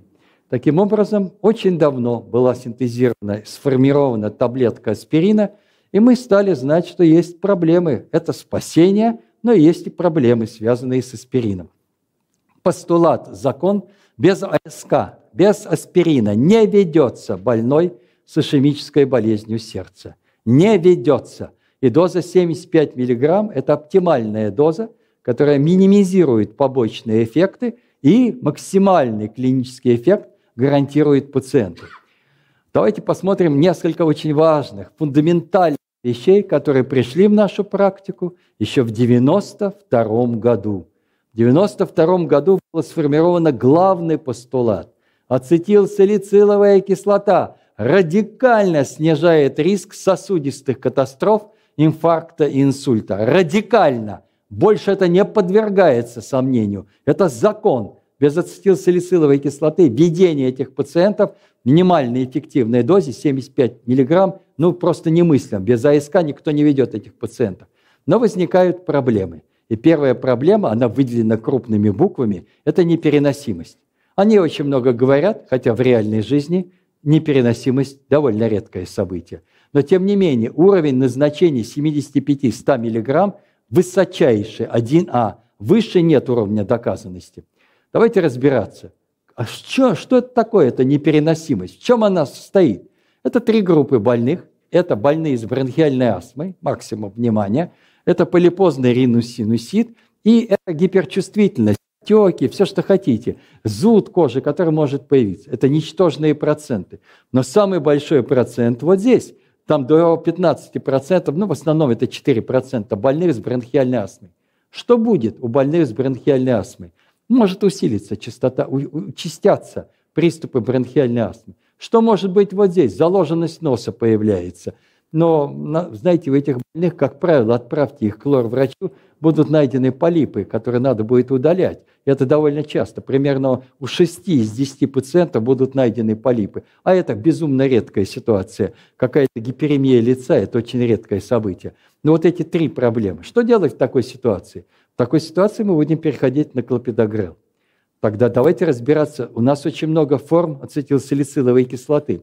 Вот мы сейчас с вами смотрим желудочно, принципиально два класса. Одни растворяются в кишке, вторые растворяются в желудке. Считалось, что те формы, которые растворяются в кишке, не будут давать никаких осложнений. Это казалось ошибкой и заблуждением. Те, которые растворяются в желудке, Это буферная форма. А в чем разница? Растворяется в кишке или в желудке? Ну, не только там, где растворяется. Давайте запомним первый постулат. Вот сейчас мы его разберем. Если желудок, то это кислая среда. В кислой среде молекула ацетилсалициловой кислоты не диффундирует на ионы. Значит, сохраняет свою структуру и сохраняет высокую липофильность. Поэтому легко проникает через мембрану. А в кишке какой pH? Там щелочной pH. Это мгновенно распадается на ионы, теряется липофильность, а что приобретается? Гидрофильность. И тогда концентрация, посмотрите на мою руку, здесь концентрация поднялась, и блокада цикла оксигеназа мгновенно наступила. А здесь концентрация поднимается медленно, и блокада цикла оксигеназа не наступает так быстро, как мы хотим. И она вообще будет носить частичный характер. Поэтому надо знать, вы вправе применять любую форму, но вы должны знать, что это совершенно по-разному воздействует и совершенно по-разному меняет концентрацию в крови, эти два события. Вторая головная боль, когда мы назначаем ацетилсалициловую кислоту. Надо знать вес нашего пациента. Если индекс массы тела выше, чем 40, то дважды в день принимается, через 12 часов принимается. На это надо обратить. Это самая безопасная форма будет. Если выше, чем 35 или весом больше, чем 120 килограмм, предпочитается форма, которая растворяется в желудке. Значит, с весом тоже разобрались. Давайте к третьей проблеме подойдем. Но чтобы подойти к ней, мы вспоминаем с вами, что любые формы ишемической болезни сердца в российских рекомендациях, во всех рекомендациях мира имеют высочайший уровень доказанности 1А. Все, неоспоримый факт, больной без должен иметь объяснение, почему он без, почему он не получает этот класс препаратов. Теперь сравним две формы, и мы посмотрим с вами, что происходит меньше, какие проблемы, что возникает у этих больных, что будет мешаться по сравнению с кишечно растворимыми формами. Давайте посмотрим, что будет изменяться. Сравните эти два столбика. Значит, количество побочных эффектов и количество клинической эффективности тоже будет зависеть. Еще раз на мою руку посмотрите. От того, как поднялась концентрация в крови, зависит, как вы пересекли циклооксигеназный путь. Если быстро поднялась, то вы полностью пересекли этот путь.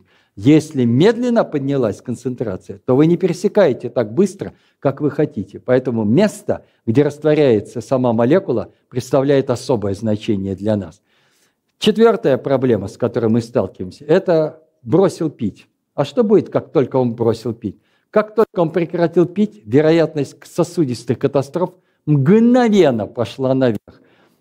Это страшно. Поэтому его надо уговаривать, чтобы он продолжал сохранять приверженность принятию этого препарата. Любой риск сосудистых катастроф при его самостоятельной отмене препарата мгновенно возрастет. А знаете, сколько больных отменяет? Посмотрите на эти проценты.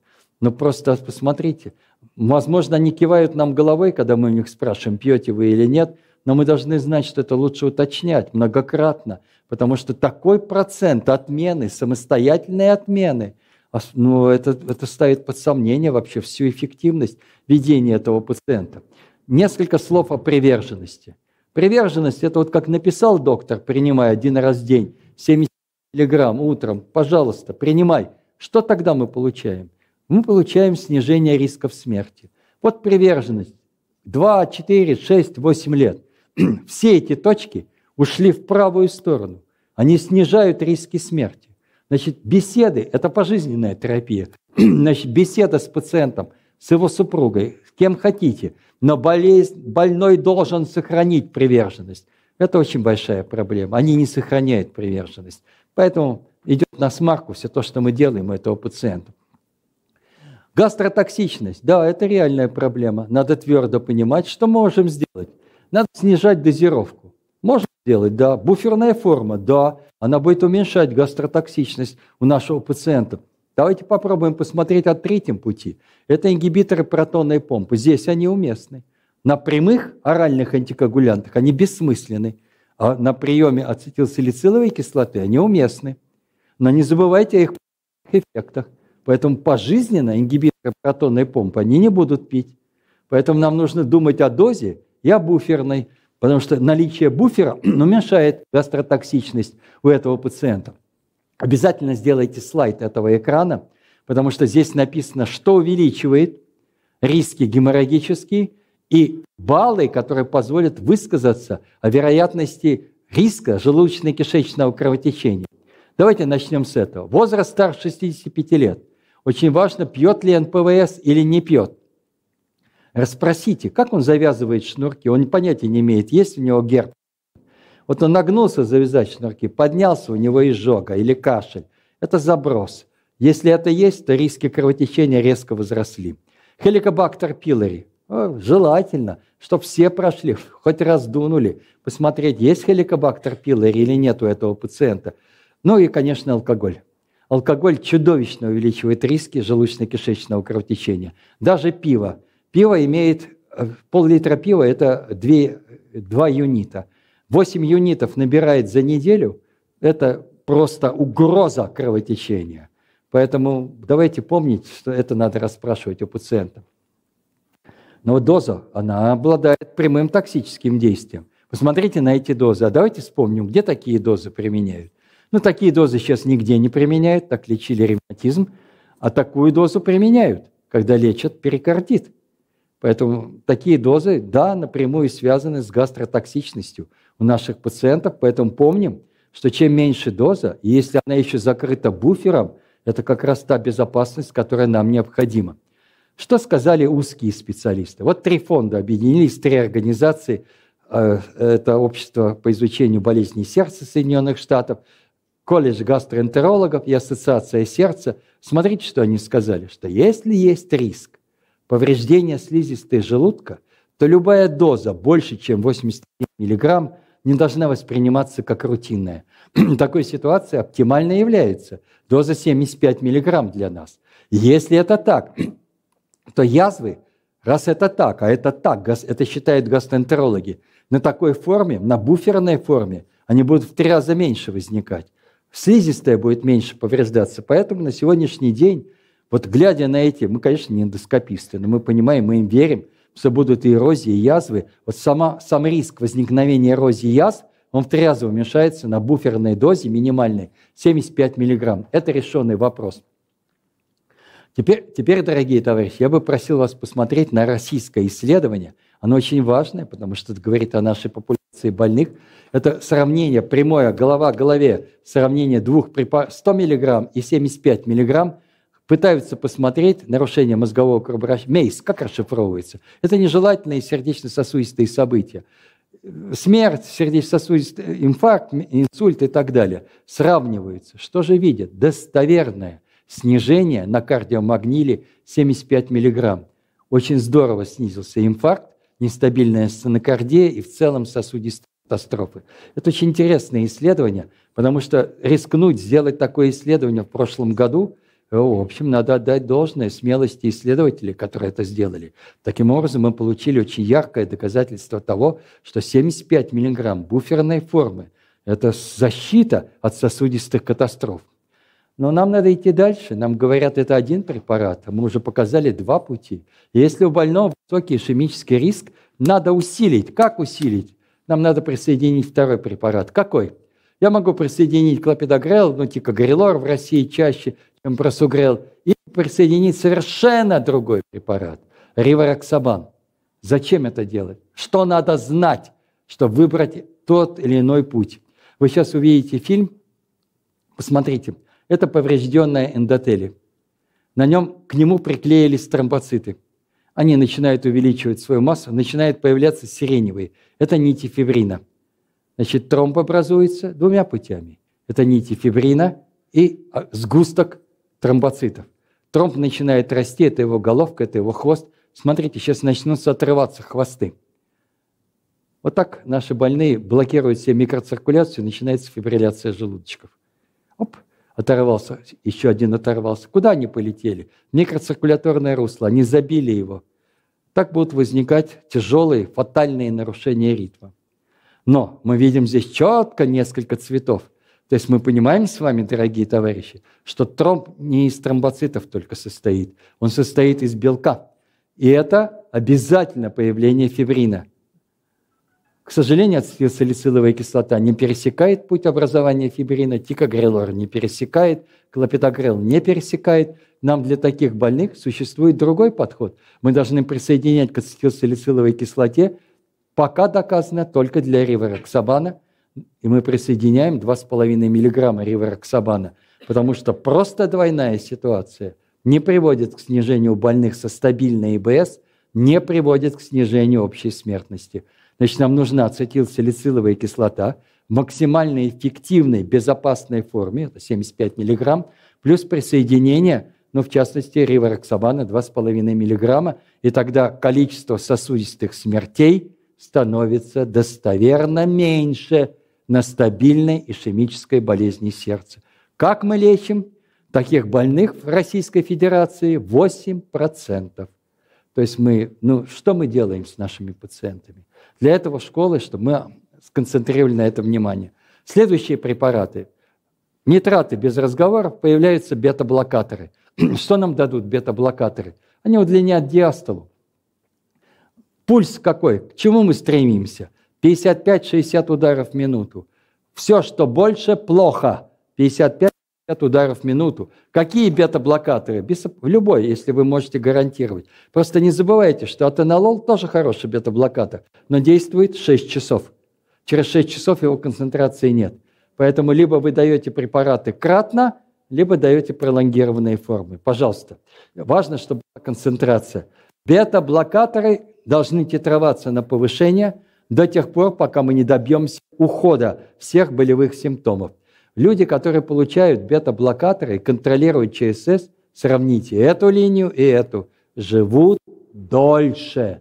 Значит, контроль ЧСС, контроль длины диастолы, подсчет пульса – неформальная процедура. Это анализ эффективности проводимой терапии у твоего пациента. Пусть этот слайд нам всегда перед глазами у нас стоит. Смотрите, что происходило за час до развития инфаркта миокарда – наросла тахикардия, уменьшилась длина диастолы. Это, к сожалению, привело к ишемии, и в итоге это вылилось в инфаркт миокарда. Теперь давайте поговорим о обязательном классе препаратов. Это антагонисты э, об ингибиторах и антагонистах минералокортикоидных рецепторов. Смотрите, как ответственность ингибиторов АПФ изменилась. На терапии только если есть сопутствующие заболевания – Сахарный диабет, да, дай. Сердечная недостаточность, дай, пожалуйста. А когда дать антагонисты минералокортикоидных рецепторов? Вспомним, что наш любимый вершпирон вызывает гинекомастию. Поэтому у женщин там нарушение менструального цикла, у мужчин и женщин нарушение костной структуры, он не селективен. Сделали селективный, отрезали обладающие половым действием радикалы, появился новый класс, ингибиторы – минералокортикоидных рецепторов вообще не обладают мочегонным действием или очень слабым, ничтожным, но блокируют депозицию коллагена. Это для нас важно, потому что они приводят к снижению риска внезапной смерти. Поэтому после инфаркта больному с АГ вы обязаны дать. АГ и недостаточность кровообращения обязаны дать эти препараты. Они действительно улучшают прогноз и завершение воздействия на кардиомиоцит мы остановимся на проблеме выработки энергии.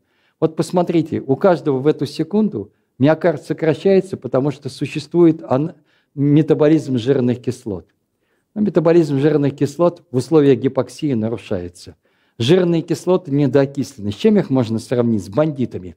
Они сейчас бегают по клетке, кардиомиоциту и отнимают атомы кислорода. У кого? У глюкозы. Что происходит? Глюкоза недоокисляется. Где она остановилась? Давайте запомним это слово. Перуват. Перуват изменил pH мгновенно, мгновенно изменил. Перестали работать каналы. Возникли нарушения ритма. Это, к сожалению, такая череда событий, и нам надо это восстановить. Как это можно восстановить? Самое простое – это восстановить, возвращая окисление жирных кислот. На сегодняшний день довольно много препаратов декларируется, как препараты, которые влияют на это – это вот препараты метаболического ряда и ингибиторы глюкозонатриевого котранспортера, которые переводят на кетозный цикл выработки энергии. Хорошо, что нового? Что взрывает мозг? Опять новый подход к лечению этих больных. Это противовоспалительная терапия. Первый шаг сделало моноклональное тело, канакинумаб, безумно дорогое, безумно дорогое, но в большой дозе понижало риски сосудистых катастроф. А есть дешевый препарат, который действует еще более эффективно. Это колхицин. Колхицин больным после инфаркта миокарда в небольшой дозе 0,5 мг на 25-27% снижает риск сосудистых катастроф. Так, да, конечно, будут поносы, там у 7% больных, но эффект потрясающий. Видите, сколько нового прозвучало в этих двух препаратах. Теперь к лечению АГ, я вас больше не буду мучить, опять новый акцент. Какой неожиданный. Нам сказали, высокое нормальное давление при трех факторах риска должно получить медикаментозную терапию. Так раньше никто не говорил. АГ1 при трех факторах риска комбинированная терапия, потому что очень высокий риск сосудистых катастроф. Какие еще новости?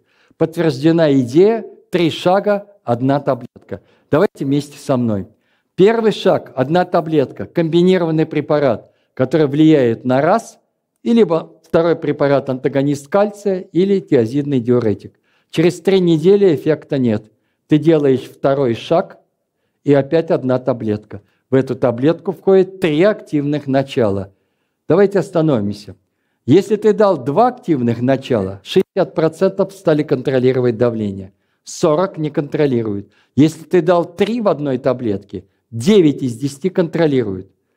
Задумайся, почему дальше 10% не контролируют? В любом случае, ты пишешь, ты меняешь диагноз здесь и пишешь резистентная гипертония – и добавляешь четвертый препарат. Нет эффекта. Ты добавляешь пятый препарат и пишешь новый диагноз. Рефрактерная. Три препарата не оказали эффект. Резистентная. Пять не оказали эффект. Рефрактерная. Задай себе вопрос, кого ты лечишь? Что ты лечишь? Ты, скорее всего, проморгал вторичную гипертонию. Начинай все сначала. Ты проморгал. Ты не то сделал с этим пациентом. Потому что представить себе такую ситуацию очень сложно. Для этого надо иметь фантастический стеноз почечной артерии. Хорошо, стратегия ясна, понятна. Давайте посмотрим на другой момент. А что выбирать, ингибитор или сортан? Ну, честно говоря, каждый год появляется новый метаанализ. Вот последний сказал, что они примерно одинаково снижают давление, но на сортанах гораздо меньше побочных эффектов. Это правда. Третий вопрос. Куда тяжелее? А что выбрать? Антагонист кальция или мочегонный? Если того больного подагра, ты, наверное, выберешь антагонист кальция. Если отеки, ты выберешь мочегонный препарат. Если у твоего больного хобл, антагонист кальция выберешь. Ну и так дальше ты будешь выбирать. Смотрите, не забудьте поговорить с женщиной, спросить, как она застегивает сапоги зимой. Потому что антагонисты кальция будут вызывать отеки. Примерно 10% женщин пожалуются на то, что они не могут носить зимнюю обувь. У них не застегивается змейка сапогов. И это очень важно. Тогда вы поведете на мочегонный препарат. Выбрали этот препарат. Еще один аспект, который вам надо знать. Это кому же монотерапия? Вам нужно точно заметить два момента. Давайте их обсудим. Пожилые люди, как правило. Но у пожилых людей есть проблема с почками. И это тоже как правило. Значит, нам нужно найти препарат, который примерно одинаково будет выходить через почку и метаболизироваться в печени. Я вам покажу, и вы сами выберете этот препарат. Но просто за, давайте запомним этот момент. Итак, невысокое повышение давления, пожилой хрупкий. Позвольте мне задать высокой аудитории вопрос. В телефоне у всех есть шкала, которая называется «возраст не помеха». Ну, очень желательно, чтобы эта шкала была в телефоне, потому что это позволяет поймать, кто такой хрупкий пациент.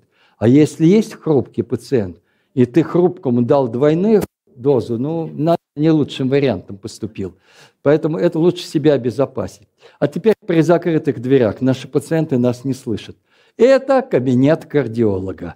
Из кабинета кардиолога 50% больных шли на монотерапии. Первый постулат современного мира – лечение в 95% начинается с двух препаратов. Это кабинет терапевта. Две трети больных, 67%, ушли на терапии. Это то же самое, что не назначить АСК больному с ишемической болезнью сердца. Это наша большая ошибка. Несколько слов о базовых препаратах. все тиазиды и тиазидоподобные были синтезированы в середине 20 века. И гидрохлортиазид по тем параметрам достигал целевых уровней артериального давления. И хлортолидон оказывал влияние, в том числе на пожилых, снижал сосудистые риски. И оказывал огромное влияние индопамид. Я хочу, чтобы мы сейчас научились ответить на очень сложный вопрос. Наши больные много читают, слышат. Они приходят к нам и говорят, знаете, я вчера прочел, что гидрохлортиазид вызывает рак. Не меланом, ну, не могу сказать не меланомный. Рак кожи рак губы. Это правда? Да, это правда. Надо запомнить только, что ответить пациенту. Это правда. Если больной съел не менее 50 тысяч миллиграмм, и если он постоянно подвергается открытому солнцу, то есть живет в Австралии. Поскольку наши пациенты в Австралии не живут, то дайте ему простой совет – носить рубашку, когда он работает на участке, и пользоваться защитным кремом. И лучше всего носить очки. Риск немеланомного рака кожи равен нулю в такой ситуации.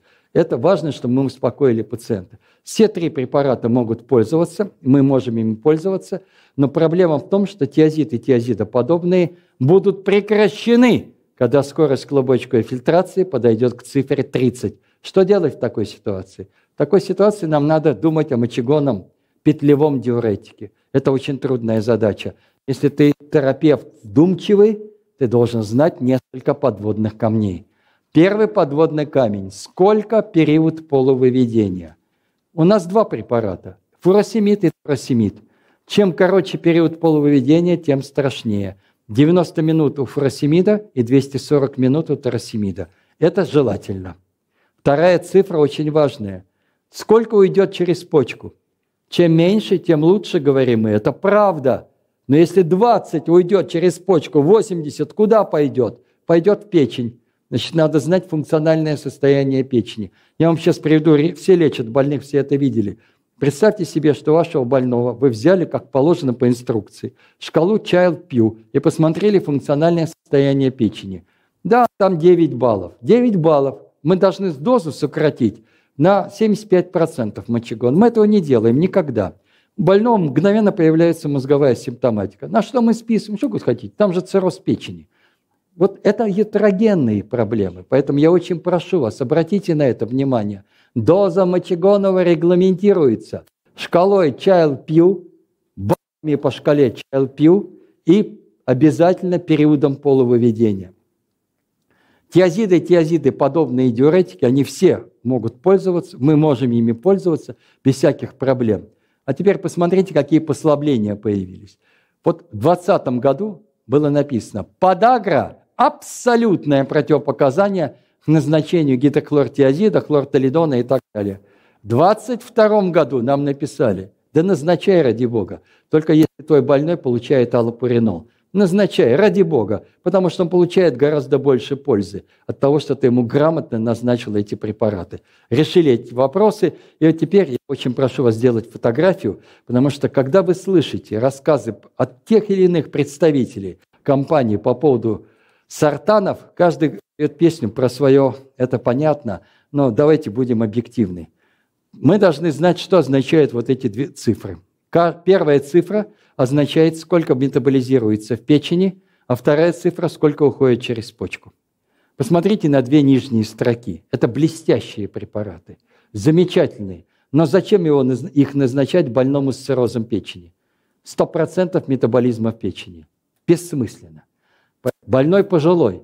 Возникают вопросы, сколько у него идет через почку. Потому что почка находится в общем довольно сложном состоянии. У него мало функционирующих клубочков. Давайте поищем, где ближе всего к пополам. Пополам азилсартан. Ближе всего. Поэтому всегда помните, что выбор сортана всегда строго индивидуален. Нельзя всем давать лазартан, потому что вы его любите. Надо как-то выбрать что-то другое, потому что для каждого больного вы будете оценивать свои параметры. Это всегда строго персонифицированный выбор препарата для ведения этих пациентов. Если вы назначаете ингибиторы, тоже надо знать. В период полувыведения, например, только у двух препаратов 24 часа. Это у трандолаприла и периндоприла. Нужно обязательно знать, как они проникают в ткани. Они не все одинаково проникают в ткани. Но тем не менее, перед нами вот мы выбрали с вами препарат, который примерно поровну выводится через печень и почки. Смотрите, с какого года азилсартан медоксамил, он стал официальным препаратом, который рекомендован. То есть сейчас этот препарат используется в клинической практике ну, 13-14 лет. Он хорошо изучен. Что мы должны ему знать? В чем его преимущество? А правда, что, да, что должен просто помнить терапевт? Но он, в конце концов, не биохимик, он не может знать все детали. Надо знать, что радикально отличается якорем. Вот эта часть молекулы называется якорь. Она цепляется за рецептор. Вопрос в том, как цепляется за рецептор. Вот посмотрите на мои руки. Можно зацепиться и расцепиться. А можно зацепиться и много часов быть в сцепленном состоянии. Вот это ключевой вопрос. На сколько часов ты зацепился? И оказывается, что вот замена якоря здесь, тетразольное кольцо, а это окситозольное кольцо, привело к тому, что азилсартан изменил свои характеристики. Он цепляется на очень долго и очень слабо расстается с этим рецептором. Вот эта кривая как раз доказывает, она прямая, она не кривая. Она говорит о том, что в течение многих часов связь с рецептором осталась очень прочной, плотная связь осталась. Теперь давайте. Вот поэтому, я сейчас обращусь еще раз, знание, как мы выводим этот препарат, это раз, и знание того, что мы зацепились очень плотно, перед нами поставит очень важную вещь. Это насколько мы будем превосходить другие препараты, но, внимание, за 24 часа. Это единственный в мире сортан, который прошел программу исследования не как сортан, а только как эффект 24 часа. И выясняется, что азил-сартан 80 миллиграмм, он превзошел, он не сартан, это не мальчик для битья, это очень мощный сартан. Но превзошел в течение 24 часов. На мою руку посмотрите, ночь должна быть вот такой. Если 24 часа ты действуешь, ты гарантируешь двухфазность кривой. Мы с этого с вами начинали. Если ты не гарантируешь своим препаратом 24 часа действия, то ты не снижаешь риски смерти у твоего пациента. Давайте это будем помнить. Есть несколько еще. Дозу на валсартана, посмотрите, 320 миллиграмм. Это максимально разрешенная доза, а зилсартан превосходит 320 миллиграмм по своему гипотензивному эффекту. А теперь вот на эти точки посмотрим. Когда наступает эффект? На зилсартане. Зеленая, посмотрите, Дарби, когда нам дал эффект? Эффект наступил на вторую неделю. Чем раньше до четвертой недели ты понизил давление, тем лучше ты изменил сценарий жизни твоего пациента. Поэтому скорость наступления контроля давления имеет ключевое понятие. Не надо достигать на концу второго месяца, это очень поздно. Желательно достигнуть ближайшие недели, это будет очень здорово для нашего пациента. И слово преддиабет появляется, а дальше будет слово с диабетом – Преддиабет уже изменился эндотели сосудов. Мы должны помнить, что это тяжелая группа больных. Здесь есть эффект. И еще один момент – это прямое сопоставление. Мы видим здесь хлортолидон против гидрохлоротиазида. Вы видите, что любая комбинация, которую мы сейчас изучаем с вами, важен период полувыведения препарата, как выводится и сколько часов он действует, контролирует ли он ночь у вашего пациента – здесь контролирует. Последний такой штрих – это комбинация антагониста кальция и диуретика. Давайте вспомним, кому вы его будете назначать. Пожилым с высоким пульсовым давлением. Там сразу будет меньше, чем 60. Антагонисты кальция, сортаны. Их у нас 5, пожалуйста. Выбирайте любой. Выбрали талмисартан, он действует 36 часов, ранний утренний с давлением. Выбрали лазартан. Он в основном но он слабо влияет на уровень мочевой кислоты, но в основном для гипер...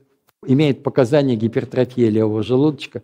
Олмисартан – это очень серьезный препарат, не популярный в России, но был синтезирован специально для больных сахарным диабетом, у которых нет микроальбуминурии, он предотвращает возникновение микроальбуминурии. Эрбисартан – это идеальный препарат при тяжелой почечной патологии, что начальной, что конечной стадии – и валсартан – это когда есть э, э, мультиорганное поражение. У нас появилась еще одна комбинация, разрешенная вот уже два года к лечению. Это валсартан-сакубитриловый комплекс. Надо знать несколько моментов. В основном показания – это высокий индекс массы миокарда левого желудочка. У мужчин больше, чем 115 грамм на квадратный метр, у женщин больше, чем 95 грамм на квадратный метр. И это жесткое показание, и стартовая доза 200 миллиграмм. Рискнете, пожалуйста. Не работает 200, вторая доза 400. Вспомните те, кто лечит ХСН. Там даешь дозу 50 миллиграмм, три раза на воду подуешь, прежде чем дашь. И позвольте завершить ужасом. Тот, по которому нас будут оценивать. Правильно ли ты поставил диагноз? То есть ты поймал больного с давлением 140 и 90 и поставил диагноз. Не забыл ли ты определить белок? Третье. Правильно ли дал комбинированную терапию? И самое главное, четвертое. Достиг ли ты за 12 недель контроля давления? Не достиг – дефект ведения пациента. Я жду ваши вопросы. Спасибо за ваше долготерпение. Спасибо большое. Если есть вопросы, пожалуйста. Нет вопросов? Да, о, конечно. Нету микрофона, поэтому...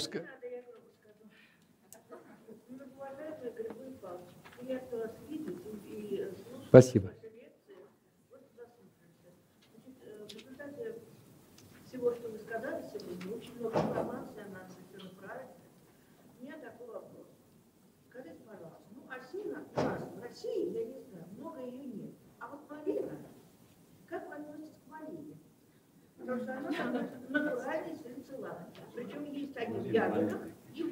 Вопрос только в том количестве. Ведь и в осине, да, и это же вытяжка, это же концентрация. Вам важно, чтобы было э, ацетилсалициловой кислоты 75 миллиграмм.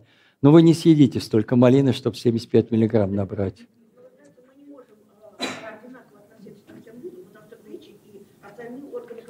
Наверное. Угу.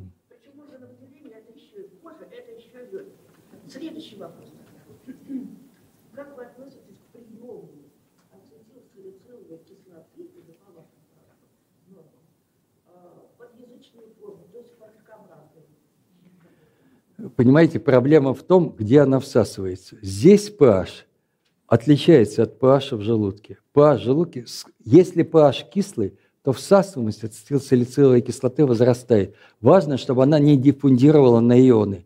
В любом другом pH, кроме кислого, она диффундирует на ионы, и, к сожалению, тогда она гидрофильна.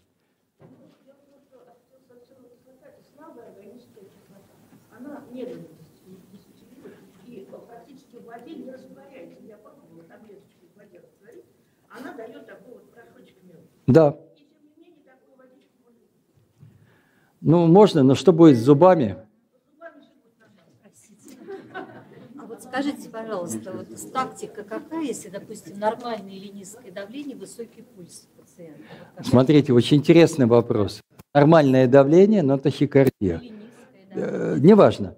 Первый вопрос, который вы решаете, почему тахикардия у вашего пациента. Давайте отметим сразу анемию, тиреотоксикоз у вашего пациента и опухоль которая будет давать интоксикацию, и сон нарушенный. Вы это все отсекли, причина остается неясной. Вы будете обследовать вашего пациента.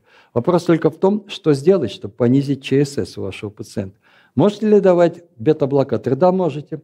Но бета-блокатор какой? Не селективный. Помните, что это гипотензивный препарат. Поэтому стартовая доза будет крайне низкой. Селективный?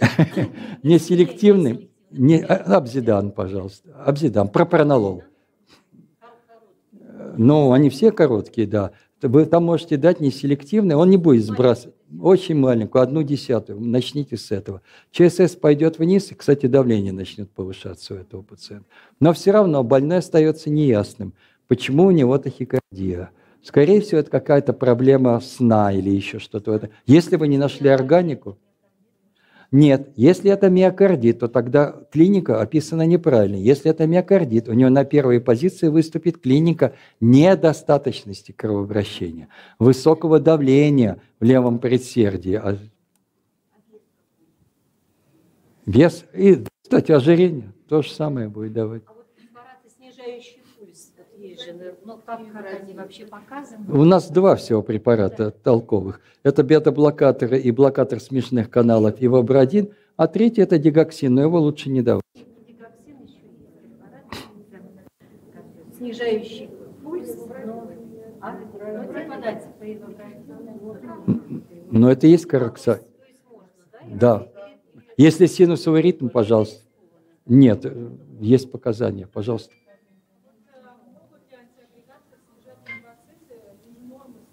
Э, э, в основном количество тромбоцитов снижает гепарин и низкомолекулярные гепарины. Там происходит аутоиммунная реакция, которая приводит к снижению. Если у вас падают тромбоциты, то вы должны задуматься о другом вопросе. Что происходит с дедимером и что происходит с фибрином? Если фибрин пошел вниз, падает, началась коагуляция. Где-то началось потребление. Стартовая доза 5 мг.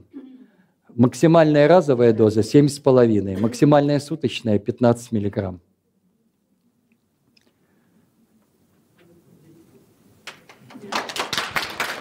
Спасибо. Спасибо. Вас ждет интересное, да, насколько я понимаю, питание. Колораж считаете. Yes,